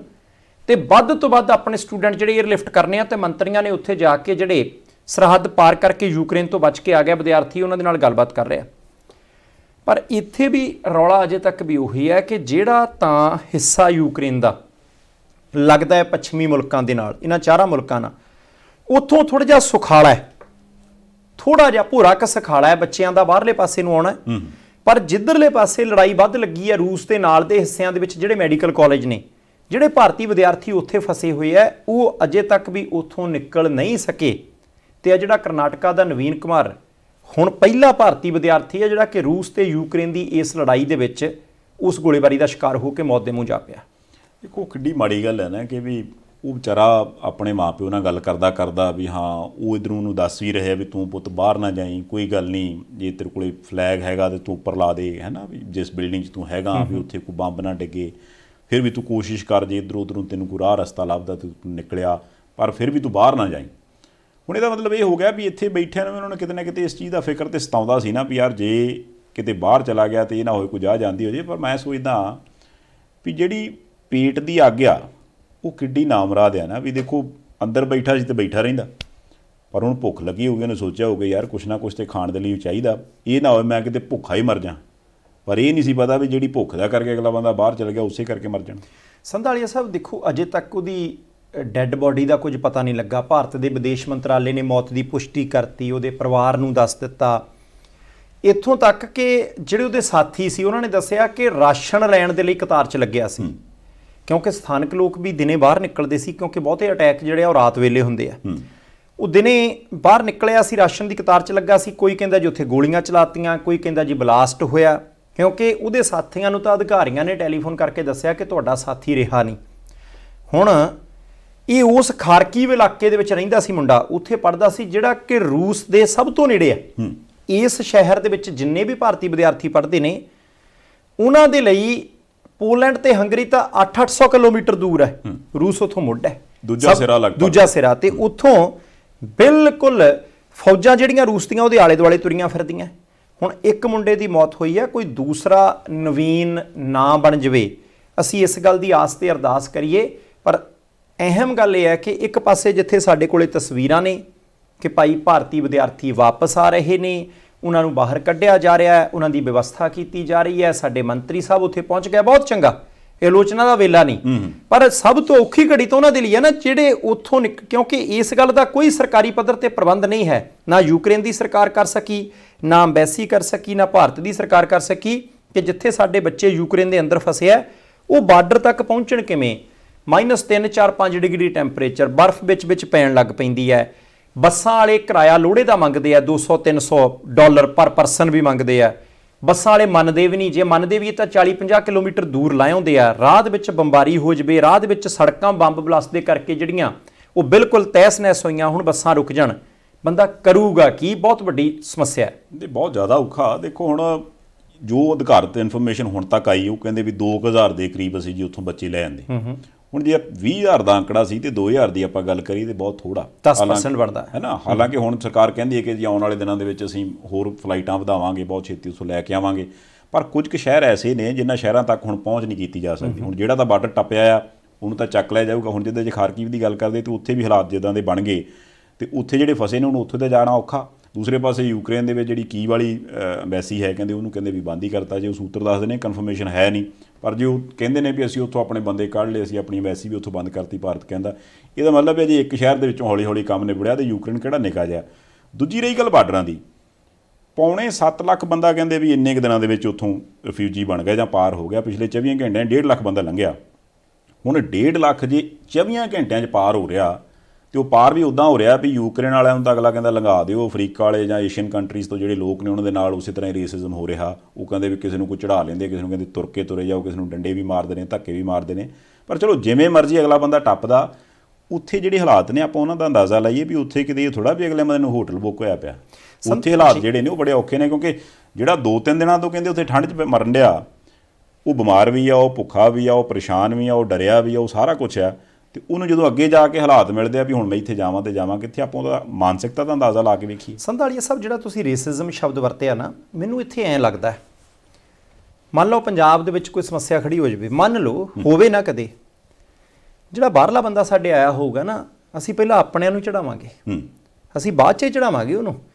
ਹੁਣ ਅਸੀਂ ਤਾਂ ਚਾਹੁੰਦੇ ਆ ਕਿ ਭਾਈ ਸਾਡੇ ਜਿਹੜੇ ਬੱਚੇ ਨੇ ਉਹ ਛੇਤੀ ਤੋਂ ਛੇਤੀ ਬਾਹਰ ਨਿਕਲ। ਦੂਸਰੀ ਗੱਲ ਬਾਰ-ਬਾਰ ਇਸ ਗੱਲ ਦੀਆਂ ਖਬਰਾਂ ਆ ਰਹੀਆਂ ਜੀ ਉੱਥੇ ਖੱਜਲ ਹੋ ਰਹੇ ਨੇ ਬਾਰਡਰ ਦੇ ਨੇੜੇ। ਬਿਲਕੁਲ ਖੱਜਲਾ। ਉੱਥੇ ਤਾਂ ਜਾਂਦਿਆਂ ਨੂੰ ਕੰਬਲ ਰਜਾਈਆਂ ਰੋਟੀ ਪਾਣੀ ਟੈਂਟ ਸਭ ਕੁਝ ਸਾਡੇ ਬੱਚਿਆਂ ਨੂੰ ਚਾਹੀਦਾ। ਪਰ ਇਹ ਵੀ ਆਪਾਂ ਦੇਖੀਏ ਨਾ ਕਿ ਅਸੀਂ ਉਹਨਾਂ ਗਵਾਂਢੀ ਮੁਲਕਾਂ ਦਾ ਕਸੂਰ ਨਹੀਂ ਕੱਢ ਸਕਦੇ। ਅਚਾਨਕ 70000 ਬੰਦਾ ਤੁਹਾਡੇ ਬਾਰਡਰ ਤੇ ਪਹੁੰਚ ਜਵੇ। ਤੁਸੀਂ ਬਕਾਇਦਾ ਉਹਦੀ ਰਜਿਸਟ੍ਰੇਸ਼ਨ ਕਰਨੀ ਹੈ ਤੁਸੀਂ ਆਪਣੇ ਦੇਸ਼ ਦੇ ਵਿੱਚ ਬਾੜ ਕੇ ਉਹਨੂੰ ਟੈਂਟ ਵੀ ਦੇਣਾ ਹੈ ਉਹਨੂੰ ਕਿਤੇ ਰਹਿਣ ਦਾ। ਮੈਂ ਤਾਂ ਕਹਿੰਨਾ ਦੋ ਤਿੰਨ ਜਗ੍ਹਾ ਤੋਂ ਬਾਰਡਰ ਪਾਰ ਕਰਦਿਆਂ ਹੀ ਜਿੱਦਾਂ ਆਪਾਂ ਕਹਿੰਦੇ ਹੁੰਦੇ ਕਿ ਪੰਜਾਬੀ ਭਾਈਚਾਰਾ ਸਿੱਖ ਭਾਈਚਾਰਾ ਲੰਗਰ ਬਹੁਤ ਲਾਉਂਦਾ। ਮੈਂ ਤਾਂ ਹੈਰਾਨ ਰਹਿ ਗਿਆ ਕਿ ਯੂਰਪ ਦੇ ਲੋਕਾਂ ਨੇ ਜਿੱਦਾਂ ਆਪ ਉੱਥੇ ਟੈਂਟ ਲਾ ਕੇ ਕੋਈ ਫਰੂਟ ਲਾ ਕੇ ਬੈਠਾ ਹੈ ਕੋਈ ਕਿਸੇ ਨੇ ਉਧਰਲਾ ਜਿਹੜਾ ਫੂਡ ਹੈ ਉਹਦਾ ਸਟਾਲ ਲਾਇਆ ਹੈ, ਕੋਈ ਕੱਪੜੇ ਲਾ ਕੇ ਬੈਠਾ ਇੱਕ ਜਗ੍ਹਾ ਦੇ ਉੱਤੇ ਜੁੱਤੀਆਂ ਦਾ ਢੇਰ ਲੱਗਾ ਹੈ ਲੋਕਾਂ ਨੇ ਡੋਨੇਟ ਕੀਤੀਆਂ ਜੁੱਤੀਆਂ ਕਿ ਭਾਈ ਪੈਦਲ ਤੁਰ ਕੇ ਆ ਰਹੇ ਨੇ। ਤੇ ਇਹਨਾਂ ਨੂੰ ਕੱਪੜਿਆਂ ਦੀ ਜੁੱਤੀਆਂ ਦੀ ਜਿਹੜੀ ਉਹ ਲੋੜ ਹੋਏਗੀ। ਜਾਨੀ ਉਹਨਾਂ ਨੇ ਪਹਿਲੀ ਵਾਰੀ ਦਿਖਾਤਾ ਕਿ ਗੱਲਾਂ ਸਾਡੇ ਭਾਈਚਾਰੇ 'ਚ ਨਹੀਂ ਹੈ। ਉਹਨਾਂ ਦੇ ਵਿੱਚ ਵੀ ਬਹੁਤ ਉੱਥੇ ਤਾਂ ਆਪਣਾ ਭਾਈਚਾਰਾ ਕੋਈ ਐਡਾ ਹੈ ਹੀ ਨਹੀਂ। ਬਹੁਤ ਜ਼ਿਆਦਾ ਕਾਮਯਾਬ ਭਾਈਚਾਰਾ ਨਹੀਂ ਹੈ ਕਿ ਜਿਹੜਾ ਆਉਂਦਿਆਂ ਨੂੰ ਹੱਥੀਂ ਸਾਂਭ ਲੈ। ਇਸ ਕਰਕੇ ਉੱਥੋਂ ਦੇ ਲੋਕ ਵੀ ਪਰੇਸ਼ਾਨ ਨੇ। ਮੈਂ ਹੁਣ ਕੀਵ ਦੇ ਵਿੱਚ ਭਾਰਤੀ ਐਮਬੈਸੀ ਨੇ ਟਵੀਟ ਕੀਤਾ ਕਿ ਅੱਜ ਹੀ ਛੱਡ ਦਿਓ। ਐਮਰਜੈਂਸੀ ਸੀ ਉਹ ਕਿ ਭਾਈ ਐਮਰਜੈਂਸੀ ਐਡਵਾਈਜ਼ਰੀ ਜਾਰੀ ਕਰਤੀ ਕਿ ਹੁਣੇ ਛੱਡ ਦਿਓ ਤੁਹਾਨੂੰ ਰੇਲ ਗੱਡੀ ਮਿਲਦੀ ਤੁਹਾਨੂੰ ਬੱਸ ਮਿਲਦੀ ਕਿਸੇ ਵੀ ਤਰੀਕੇ ਛੱਡ ਦਿਓ। ਕਿਉਂਕਿ 60 65 ਕਿਲੋਮੀਟਰ ਲੰਬਾ ਕਾਫਲਾ ਕਹਿੰਦੇ ਸੀ ਕਿ ਰੂਸ ਦੇ ਫੌਜੀਆਂ ਦਾ ਆ ਰਿਹਾ। ਉਹਨਾਂ ਨੇ ਹੁਣ ਕੀਵ ਦੇ ਉੱਤੇ ਹੋ ਸਕਦਾ ਹਮਲਾ ਕਰਨਾ ਜਾਂ ਕੀ ਕਰਨਾ? ਹੁਣ ਸੰਧਾਲੀਆ ਸਾਹਿਬ ਇੰਨੀਆਂ ਟ੍ਰੇਨਾਂ ਦੀ ਸਮਰੱਥਾ ਨਹੀਂ ਹੈ। ਕਿ ਉਹ ਯੂਕਰੇਨੀ ਲੋਕਾਂ ਨੂੰ ਵੀ ਸਾਰਿਆਂ ਨੂੰ ਲੈ ਜਾਣ। ਯੂਕਰੇਨ ਦੇ ਲੋਕਾਂ ਨੂੰ ਵੀ ਸਾਰਿਆਂ ਨੂੰ ਟ੍ਰੇਨ ਨਹੀਂ ਮਿਲ ਰਹੀ। ਜਦੋਂ ਇਦਾਂ ਦੇ ਹਾਲਾਤ ਹੁਣ ਧੱਕੇ ਤਾਂ ਪੈਂਦੇ ਹੀ ਆ ਨਾ। ਪੈਣੇ ਨਹੀਂ ਚਾਹੀਦੇ ਪਰ ਧੱਕੇ ਪੈਂਦੇ ਆ ਪਰ ਕਿਸੇ ਵੀ ਤਰੀਕੇ ਅਜੇ ਤੱਕ ਸਥਾਨਕ ਲੋਕਾਂ ਦੇ ਵਿੱਚੋਂ ਇਦਾਂ ਨਹੀਂ ਆਈ ਕਿ ਕਿਸੇ ਨੇ ਉੱਥੇ ਸਾਡੇ ਬੱਚਿਆਂ ਨੂੰ ਧੱਕੇ ਮਾਰੇ ਹੋਣ ਜਾਂ ਕਿਸੇ ਨੇ ਇਹ ਕਿਹਾ ਹੋਵੇ ਕਿ ਭਾਈ ਆ ਰਾਸ਼ਨ ਦੀ ਦੁਕਾਨ ਦੇ ਵਿੱਚ ਰਾਸ਼ਨ ਤਾਂ ਅੱਗੇ ਥੋੜਾ ਅਸੀਂ ਤੁਹਾਨੂੰ ਦੇਣਾ ਨਹੀਂ। ਰੁਪਈਏ ਦੇ ਕੇ ਯੂਕਰੇਨ ਦੇ ਲੋਕ ਖਰੀਦਦੇ ਆ ਰੁਪਈਏ ਦੇ ਕੇ ਜਾਨੀ ਉਧਰਲਾ ਜਿਹੜਾ ਕਰੰਸੀ ਚੱਲਦੀ ਹੈ ਉਹ ਦੇ ਕੇ ਆਪਣੇ ਬੱਚੇ ਖਰੀਦਦੇ ਆ। ਇੱਕ ਬੱਚੇ ਦੀ ਮੌਤ ਹੋਈ ਹੈ ਬਹੁਤ ਵੱਡਾ ਘਾਟਾ ਹੈ। ਪਰ ਕਿਤੇ ਨਾ ਕਿਤੇ ਜੰਗ ਹੀ ਬੰਦ ਹੋਵੇ ਤਾਂ ਸਾਰਿਆਂ ਦੇ ਜਿਹੜੇ ਹਾਲਾਤ ਠੀਕ ਹੋ ਸਕਦੇ ਆ। ਸਾਡੇ ਵਾਲੇ ਨਿਆਣੇ ਤਾਂ ਹੋ ਸਕਦਾ ਹੌਲੀ ਹੌਲੀ ਕਰਕੇ ਨਿਕਲੇ ਹੁਣ। ਯੂਕਰੇਨ ਵਾਲੇ ਕਿੱਥੇ ਭੱਜਣਗੇ ਸਾਰੇ? ਇਹ ਉਹਨਾਂ ਦਾ ਬਹੁਤ ਔਖਾ। ਹੁਣ ਦੇਖੋ ਸ਼ਾਇਦ ਗੱਲਬਾਤ ਅੱਜ ਹੋਵੇ ਉਹਦੇ ਬਾਰੇ ਵਿੱਚ ਜੇ ਅਫੀਸ਼ੀਅਲੀ ਰਸ਼ੀਆ ਨੇ ਤਾਂ ਕਿਹਾ ਵੀ ਅਸੀਂ ਗੱਲਬਾਤ ਦੂਜੇ ਗੇੜ ਦੀ ਕਰਨ ਨੂੰ ਤਿਆਰ ਜੀ। ਪਰ ਯੂਕਰੇਨ ਵਾਲੇ ਪਾਸੋਂ ਜੇ ਕਨਫਰਮੇਸ਼ਨ ਆਈ ਨਹੀਂ। ਸ਼ਾਇਦ ਉਹਦੇ ਪਿੱਛੇ ਕਾਰਨ ਇਹ ਵੀ ਹੈ ਕਿਉਂਕਿ ਯੂਕਰੇਨ ਨੂੰ ਇਹ ਆਸ ਹੈ ਕਿ ਜਿੱਦਾਂ ਹੁਣ ਉਹਨੇ ਇਮੀਡੀਏਟਲੀ ਇੱਕ ਰਿਕੁਐਸਟ ਭੇਜੀ ਵੀ ਮੈਂ ਯੂਰਪੀਅਨ ਯੂਨੀਅਨ ਦਾ ਹਿੱਸਾ ਬਣਨਾ। ਯੂਰਪੀਅਨ ਯੂਨੀਅਨ ਵਾਲਿਆਂ ਨੇ ਵੀ ਮੰਨ ਲਿਆ ਜੀ ਵੀ ਹਾਂਜੀ ਠੀਕ ਹੈ ਤੂੰ ਸਾਡਾ ਹਿੱਸਾ ਬਈ। ਹੁਣ ਇਹ ਵੀ ਗੱਲ ਚੱਲਦੀ ਹੈ ਵੀ ਜਿੱਥੇ ਉਹ ਕਹਿੰਦਾ ਵੀ ਮੈਂ ਹੁਣ ਇਹ ਦੇਖਣਾ ਵੀ ਮੇਰੀ ਕੋ ਪਿੱਠ ਤੇ ਖੜਦਾ ਆਣ ਕੇ ਕਿ ਨਹੀਂ ਖੜਦਾ ਜੀ ਆ ਦੇਖੋ ਅਸੀਂ ਤਾਂ ਆਪਣੇ ਦੇਸ਼ ਲਈ ਖੜੇ ਆਂ ਅੱਜ ਸਾਡੇ ਤੇ ਭਾਵੇਂ ਆ ਹੋ ਰਿਹਾ, ਸਾਡੇ ਤੇ ਭਾਵੇਂ ਆ ਹੋ ਰਿਹਾ, ਪਰ ਉਹਦੇ ਬਾਵਜੂਦ ਅਸੀਂ ਖੜੇ ਆਂ ਇਹ ਵੀ ਵਿੱਚ ਵਿੱਚ ਚਰਚਾ ਸੀ ਕਿ ਉਹਨੇ ਕਿਹਾ ਕਿ ਜੇ ਕੋਈ ਯੂਕਰੇਨ 'ਚ ਆ ਕੇ ਸਾਡੇ ਲਈ ਲੜਨਾ ਚਾਹੁੰਦਾ, ਉਹਦੇ ਲਈ ਵੀ ਅਸੀਂ ਬਾਰਡਰ ਖੋਲ ਤੇ ਆਓ ਜੀ ਤੁਸੀਂ ਸਾਡੇ ਨਾਲ ਲੜੋ। ਹੁਣ ਯੂਕਰੇਨ ਦੇ ਰਾਸ਼ਟਰਪਤੀ ਵੱਲੋਂ ਇਦਾਂ ਦੇ ਬਿਆਨ ਦਿੱਤੇ ਜਾਣੇ, ਪਲੱਸ ਜਿਹੜਾ ਬਾਕੀ ਦੀਆਂ ਜਿਹੜੀਆਂ ਸਟੇਟਾਂ ਨੇ ਜਾਂ ਜਿਹੜੇ ਬਾਕੀ ਦੇ ਕੰਟਰੀ ਨੇ, ਉਹਨਾਂ ਵੱਲੋਂ ਇੱਕ ਕਹ ਲਓ ਕਿ ਵੀ ਇੱਕ ਡਿਫਰੈਂਟ ਤਰ੍ਹਾਂ ਦਾ ਪ੍ਰੈਸ਼ਰ ਬਣਾਉਣ ਦੀ ਕੋਸ਼ਿਸ਼ ਕੀਤੀ ਜਾਣੀ। ਉਹਨਾਂ ਸਾਰੀਆਂ ਚੀਜ਼ਾਂ ਤੋਂ ਲੱਗਦਾ ਵੀ ਜਿਹੜਾ ਉਹ ਪਹਿਲੇ ਦੂਜੇ ਤੀਜੇ ਗੱਲਬਾਤ ਦੇ ਗੇੜ ਦੇ ਵਿੱਚ ਆਪਦਾ ਵੀ ਮਸਲਾ ਹੱਲ ਹੋ ਜਵੇ ਉਹ ਸ਼ਾਇਦ ਨਾ ਹੋਵੇ। ਨਹੀਂ ਇਹ ਗੱਲ ਤੁਹਾਡੀ ਸੰਧਾਲੀਆ ਸਾਹਿਬ ਠੀਕ ਹੈ। ਪਹਿਲੀ ਗੱਲ ਹੈ ਕਿ ਲੜਾਈ ਦਾ ਮਾਹੌਲ ਨਹੀਂ ਸੀ ਬਣਨਾ ਚਾਹੀਦਾ। ਬਣ ਗਿਆ। ਦੂਸਰੀ ਗੱਲ ਹੈ ਕਿ ਅਟੈਕ ਯੂਕਰੇਨ ਤੇ ਬਿਲਕੁਲ ਨਹੀਂ ਹੋਣਾ ਚਾਹੀਦਾ। ਉਹ ਵੀ ਹੋ ਗਿਆ ਤੇ ਉਹਦੇ ਸਿੱਟੇ ਸਾਡੇ ਸਾਹਮਣੇ ਨੇ। ਹੁਣ ਯੂਕਰੇਨ ਦਾ ਰਾਸ਼ਟਰਪਤੀ ਜਦੋਂ ਕਹਿੰਦਾ ਕਿ ਰੂਸ ਨੂੰ ਅੱਤਵਾਦੀ ਦੇਸ਼ ਐਲਾਨੋ ਬਹੁਤ ਸਾਰੇ ਮੁਲਕ ਤਿਆਰ ਹੋ ਜਾਣਗੇ। ਹੂੰ। ਫਿਰ ਜਿਹੜੇ ਆਸਟ੍ਰੇਲੀਆ ਵਾਲਿਆਂ ਨੇ ਯੂਕਰੇਨ ਨੂੰ ਕੁਝ ਸਹਾਇਤਾ ਭੇਜੀ ਹੈ, ਦੱਖਣੀ ਕੋਰੀਆ ਨੇ ਰੂਸ ਦੀਆਂ ਕੁਝ ਬੈਂਕਾਂ ਤੇ ਪਾਬੰਦੀ ਲਾਤੀ ਹੈ, ਯੂਰਪੀਅਨ ਯੂਨੀਅਨ ਨੇ ਪਹਿਲਾਂ ਹੀ ਲਾਤੀ ਹੈ। ਇੱਥੋਂ ਤੱਕ ਕਿ ਰੂਸ ਵਾਲਿਆਂ ਨੇ ਕਹਿ ਦਿੱਤਾ ਕਿ ਸਾਡਾ ਕੋਈ ਵੀ ਬੰਦਾ ਬਾਹਰਲੇ ਦੇਸ਼ ਨੂੰ ਪੈਸੇ ਨਹੀਂ ਹੁਣ ਭੇਜ ਸਕਦਾ, ਉਹਨਾਂ ਨੇ ਵੀ ਆਪਣਾ ਬਿਜ਼ਨਸ ਬਚਾਉਣਾ ਹੈ। ਇਹਦੇ ਵਿੱਚ ਮੈਨੂੰ ਜਿਹੜੀ ਇੱਕ ਖਾਸ ਗੱਲ ਲੱਗਦੀ ਹੈ, ਉਹ ਇਹ ਹੈ ਕਿ ਚਾਈਨਾ ਨੇ ਤਾਈਵਾਨ ਦੇ ਮੁੱਦੇ ਦੇ ਉੱਤੇ ਅਮਰੀਕਾ ਨੂੰ ਮਾੜੀਆਂ ਅੱਖਾਂ ਦਿਖਾਈਆਂ ਕਿਉਂਕਿ ਅਮਰੀਕਾ ਦਾ ਕੋਈ ਵਫਦ ਗਿਆ ਹੋਊਗਾ ਡਿਫੈਂਸ ਦੇ ਨਾਲ ਸੰਬੰਧਿਤ ਤਾਈਵਾਨ ਦੇ ਵਿੱਚ। ਤੇ ਚੀਨ ਕਹਿੰਦਾ ਤਾਈਵਾਨ ਸਾਡਾ ਹਿੱਸਾ ਹੈ। ਹੁਣ ਉਹਨੂੰ ਅੱਖਾਂ ਦਿਖਾਈਆਂ ਕਿ ਭਾਈ ਇਹ ਸਾਡਾ ਹਿੱਸਾ ਹੀ ਇੱਥੇ ਆ ਕੇ ਕੋਈ ਸਰਗਰਮੀ ਕਰਨ ਦੀ ਕੋਸ਼ਿਸ਼ ਨਾ ਕਰੋ। ਤੇ ਚੀਨ ਨੇ ਨਾਲ ਲੱਗਦਾ ਬਿਆਨ ਦਿੱਤਾ ਕਿ ਦੇਖੋ ਜਿਹੜੇ ਲੋਕ ਯੂਕਰੇਨ ਦੇ ਵਿੱਚ ਬੇਦੋਸ਼ੇ ਮਰ ਰਹੇ ਸਾਨੂੰ ਦੁੱਖ ਬੜਾ ਹੈ। ਪਰ ਰੂਸ ਯੂਕਰੇਨ ਦੇ ਵਿੱਚ ਗਿਆ ਅਸੀਂ ਉਹਨੂੰ ਘੁਸਪੈਠ ਨਹੀਂ ਮੰਨਦੇ। ਹੂੰ। ਇਹਦਾ ਮਤਲਬ ਹੈ ਕਿ ਕਿਤੇ ਨਾ ਕਿਤੇ ਰੂਸ ਤੇ ਚੀਨ ਬਿਲਕੁਲ ਇਸ ਮੁੱਦੇ ਤੇ ਆਪਸ ਦੇ ਵਿੱਚ ਸਹਿਮਤ ਹੈ ਜਿੱਦਾਂ ਨਾਟੋ ਦੇ ਦੇਸ਼ ਅਮਰੀਕਾ ਸਾਰੇ ਉਹ ਆਪਸ ਦੇ ਵਿੱਚ ਇਕਜੁੱਟ ਨੇ। ਤੇ ਜੇ ਇਹ ਇਕਜੁੱਟਤਾ ਇਦਾਂ ਹੀ ਬਣ ਰਹੀ ਤਾਂ ਬਿਲਕੁਲ ਬਰਾਬਰ ਦੇ ਦੋ ਧੁਰੇ ਖੜੇ ਹੋ ਜਾਣਗੇ ਠੰਡੀ ਜੰਗ ਵੱਲ ਨੂੰ ਦੁਨੀਆ ਫਿਰ ਵੱਧ ਜੂ ਇਹ ਲਗਭਗ ਖੜੇ ਹੋ ਹੀ ਗਏ ਆ। ਕਿਉਂਕਿ ਜੇ ਆ ਤਾਈਵਾਨ ਵਾਲਾ ਮੁੱਦਾ ਤਾਂ ਹੁਣੇ ਉੱਠਿਆ ਨਾ ਹੁਣ ਜਿਸ ਹਿਸਾਬ ਨਾਲ ਇਹ ਮਾਹੌਲ ਚੱਲਦਾ ਸੀ ਜੇ ਚਾਈਨਾ ਨਾ ਬੋਲਦਾ ਤੇ ਸ਼ਾਇਦ ਇਹਦੀ ਖਬਰ ਨਾ ਬਣਦੀ। ਪਰ ਜੇ ਉਹ ਬੋਲਿਆ ਇਟ ਮੀਨਸ ਕਿ ਚਾਈਨਾ ਭਾਵੇਂ ਸਾਹਮਣੇ ਨਾ ਆਵੇ ਪਰ ਫਿਰ ਵੀ ਉਹਦਾ ਧਿਆਨ ਹਰੇਕ ਪਾਸੇ ਹੈਗਾ ਵੀ ਮੈਂ ਕਿਹੜੇ ਪਾਸੇ ਕਿਹੜਾ ਬਿਆਨ ਦੇਣਾ। ਕਿਉਂਕਿ ਜਦੋਂ ਵਾਰ-ਵਾਰ ਇਸ ਗੱਲ ਦੇ ਉੱਪਰ ਪੁੱਛਿਆ ਜਾਂਦਾ ਚਾਈਨਾ ਨੂੰ ਵੀ ਠੀਕ ਆ ਜੀ ਤੁਸੀਂ ਉਹਨੂੰ ਹਮਲੇ ਨੂੰ ਹਮਲਾ ਨਹੀਂ ਮੰਨਦੇ। ਇਦਾਂ ਕਿਉਂ? ਕਹਿੰਦੇ ਵੀ ਉਹ ਅਸੀਂ ਉਹਨੂੰ ਮੰਨਦੇ ਨਹੀਂ ਇਦਾਂ ਨਹੀਂ ਹੋਣਾ ਚਾਹੀਦਾ ਸੀ। ਉਲਟਾ ਉਹ ਸਵਾਲ ਇਹ ਕਰਦੇ ਨੇ ਵੀ ਜੋ ਰੂਸ ਦੇ ਸਵਾਲ ਨੇ ਉਹਨਾਂ ਦਾ ਕੋਈ ਜਵਾਬ ਨਹੀਂ ਦੇ ਰਿਹਾ। ਕਿਉਂਕਿ ਜੇ ਰੂਸ ਇਹ ਕਹਿੰਦਾ ਕਿ ਹਾਂਜੀ ਇਹ ਜਿਹੜੀਆਂ ਨਾਟੋ ਫੋਰਸਿਸ ਨੇ ਜੀ ਮੇਰੇ ਅਗੇਂਸਟ ਸੀਗੀਆਂ ਤੇ ਤੁਸੀਂ ਜਮਾ ਮੇਰੇ ਮੋਢੇ ਲਿਆ ਕੇ ਉਹਨਾਂ ਨੂੰ ਬਿਠਾਉਂਦੇ ਹੋ ਮੈਨੂੰ ਇੱਥੇ ਇਤਰਾਜ਼ ਆ। ਮੇਰੀ ਸੁਰੱਖਿਆ ਨੂੰ ਖਤਰਾ ਹੋ ਸਕਦਾ। ਉਹ ਮੇਰੀ ਸੁਰੱਖਿਆ ਨੂੰ ਖਤਰਾ ਹੋ ਸਕਦਾ ਜੇ ਰੂਸ ਪੁੱਛਦਾ ਤੇ ਇਸੇ ਸਵਾਲ ਦੀ ਪ੍ਰੋੜਤਾ ਚਾਈਨਾ ਕਰੇ। ਤੇ ਫਿਰ ਇਹ ਹੁਣ ਤੇ ਮੇਰੇ ਖਿਆਲ ਨਾਲ ਗੱਲਬਾਤ ਲਗਭਗ ਕਲੀਅਰ ਹੋ ਗਈ ਵੀ ਧੜਾ ਕਿਹੜਾ ਕਿਹੜੇ ਪਾਸੇ ਖਲੋਤਾ। ਹਾਂ ਨਹੀਂ ਸੰਧਾਲੀਆ ਸਾਹਿਬ ਤੁਹਾਡੀ ਗੱਲ ਠੀਕ ਹੈ ਕਿ ਚੀਨ ਵੀ ਖੇਤਰਫਲ ਦੇ ਪੱਖੋਂ ਬਹੁਤ ਵੱਡਾ ਰੂਸ ਤਾਂ ਕਈ ਗੁਣਾ ਹੀ ਵੱਡਾ। ਦੋਨੋਂ ਇੱਕ ਹੋ ਜਾਂਦੇ ਆ। ਨਾਲ ਜੇ ਇਧਰਲੇ ਪਾਸੇ ਉੱਤਰੀ ਕੋਰੀਆ ਵੀ ਨਾਲ ਰਲਦਾ ਉਧਰਲੇ ਪਾਸੇ ਕਈ ਹੋਰ ਦੇਸ਼ ਨੇ ਜਿਹੜੇ ਸਿੱਧੇ ਇਹਨਾਂ ਦੀ ਪਿੱਠ ਤੇ ਆ ਬੇਲਾਰੂਸ ਵੀ ਪਿੱਠ ਤੇ ਆ।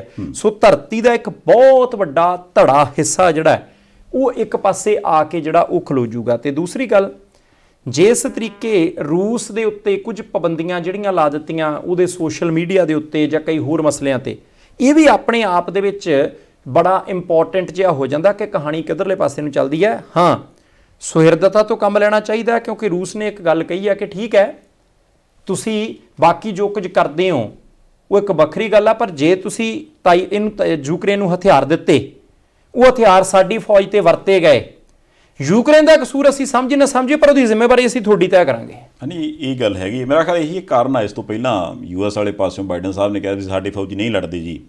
ਹੁਣ ਯੂਕੇ ਵਾਲੇ ਜਿਹੜੇ ਮੁੱਖ ਮੰਤਰੀ ਸਾਹਿਬ ਨੇ ਉਹਨਾਂ ਨੇ ਵੀ ਕਿਹਾ ਤਾਂ ਉਹ ਕਹਿੰਦੇ ਵੀ ਸਾਡੀਆਂ ਫੌਜਾਂ ਉੱਥੇ ਜਾਣਗੀਆਂ ਜੇ ਗਈਆਂ ਤੇ ਹੋ ਸਕਦਾ ਵੀ ਉੱਥੇ ਜਿਹੜੀ ਕੋਈ ਸਹਾਇਤਾ ਦੀ ਲੋੜ ਆ ਤਾਂ ਉਹ ਕੰਮ ਤਾਂ ਕਰ ਦੇਣ।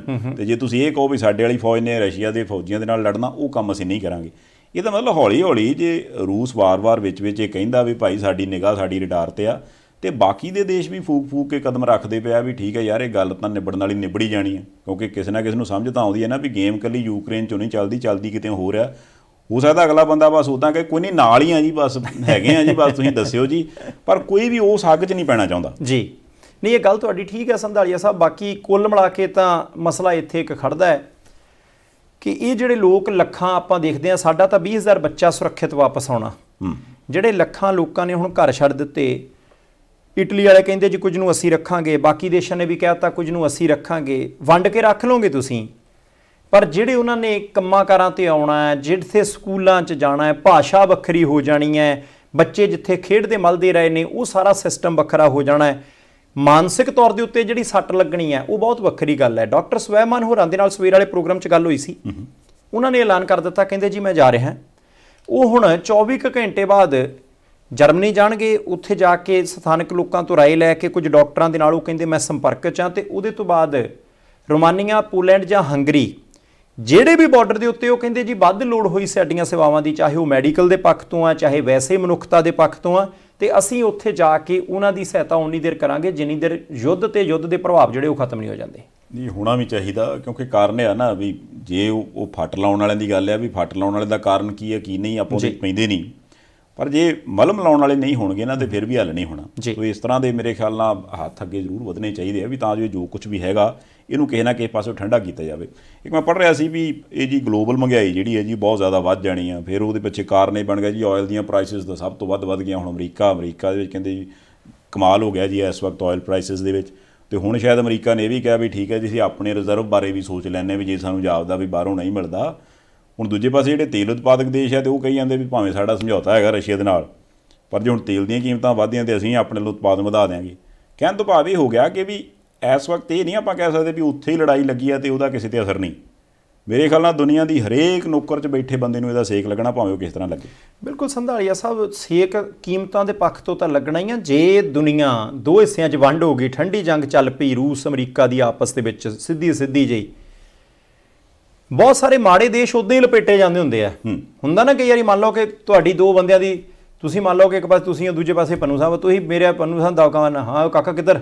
ਮੇਰੇ ਨਾਲ ਕਿਉਧਰ ਤੁਸੀਂ ਮੂਰੇ ਉਦਾਂ ਹੀ ਧੌਣੇ ਦਾ ਫੜੀ ਰੱਖਣੀ ਹਾਂ ਦੱਸ ਵੇ ਕਿੱਧਰ ਨੂੰ ਜਾਣਾ? ਇੱਕ ਪਾਸੇ ਤਾਂ ਜਾਣਾ ਹੀ ਪਊ ਨਾ ਮਾੜੇ ਬੰਦੇ ਨੂੰ। ਇਦਾਂ ਬਹੁਤ ਸਾਰੇ ਮਾੜੇ ਦੇਸ਼ ਨੇ। ਉਹ ਵਿਚਾਰੇ ਉਹੀ ਰਗੜੇ ਜਾਣੇ ਮੇਰੇ ਵਾਂਗੂ। ਨਹੀਂ ਚਲੋ ਆਪਾਂ ਤਾਂ ਇਹ ਬੇਨਤੀ ਕਰਦੇ ਆਂ ਵੀ ਇਹ ਜੋ ਕੁਝ ਮੈਨੂੰ ਐ ਲੱਗਾ ਕਹਿਣ ਕਿ ਆਪਾਂ ਤਾਂ ਇਦਾਂ ਕਰਦੇ ਹੀ ਆ। ਤੁਸੀਂ ਦੇਖੋ ਕੀ ਕਰਨਾ। ਮੈਂ ਤਾਂ ਇਹ ਬੇਨਤੀ ਕਰਦਾ ਵੀ ਇਹ ਜੋ ਵੀ ਚੱਲ ਰਿਹਾ ਇਹ ਠੀਕ ਨਹੀਂ ਹੈਗਾ। ਚਲੋ ਜੇ ਦੂਜੇ ਦੌਰ ਦੀ ਗੱਲ ਚੱਲਣੀ ਦੂਜੇ ਦੀ ਨਹੀਂ ਤੇ ਤੀਜੇ 'ਚ ਜਾ ਕੇ ਗੱਲ ਨਿਬੜ ਜਵੇ।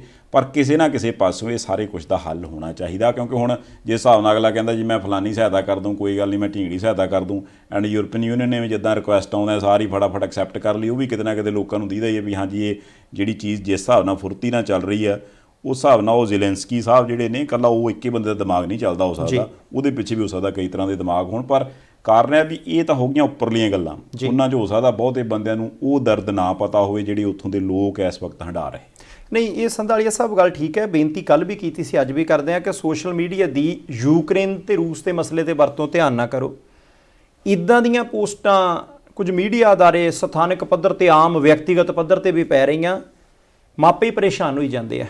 ਹੁਣ ਕੋਈ ਵੀ ਗੱਲ ਜਿਹੜੀ ਬਿਨਾਂ ਤੱਥ ਤੋਂ ਆ ਉਹ ਬਿਲਕੁਲ ਸ਼ੇਅਰ ਨਾ ਕਰੋ ਕਿਉਂਕਿ ਉੱਥੇ ਜਿਹੜੇ ਸਾਡੇ ਬੱਚੇ ਬੰਕਰਾਂ 'ਚ ਬੈਠੇ ਆ ਕਿਤੇ ਇੰਟਰਨੈਟ ਮਾੜਾ ਮੋਟਾ ਚੱਲਦਾ ਨਹੀਂ ਚੱਲਦਾ। ਗਲਤ ਜਾਣਕਾਰੀ ਦੀਆਂ 500 ਪੋਸਟਾਂ ਆ ਗਈਆਂ ਸਹੀ ਜਾਣਕਾਰੀ ਦੀਆਂ ਦੋ ਪੋਸਟਾਂ ਆਈਆਂ ਉਹ ਵਿੱਚੇ ਰੁਲ ਜਾਣੀਆਂ।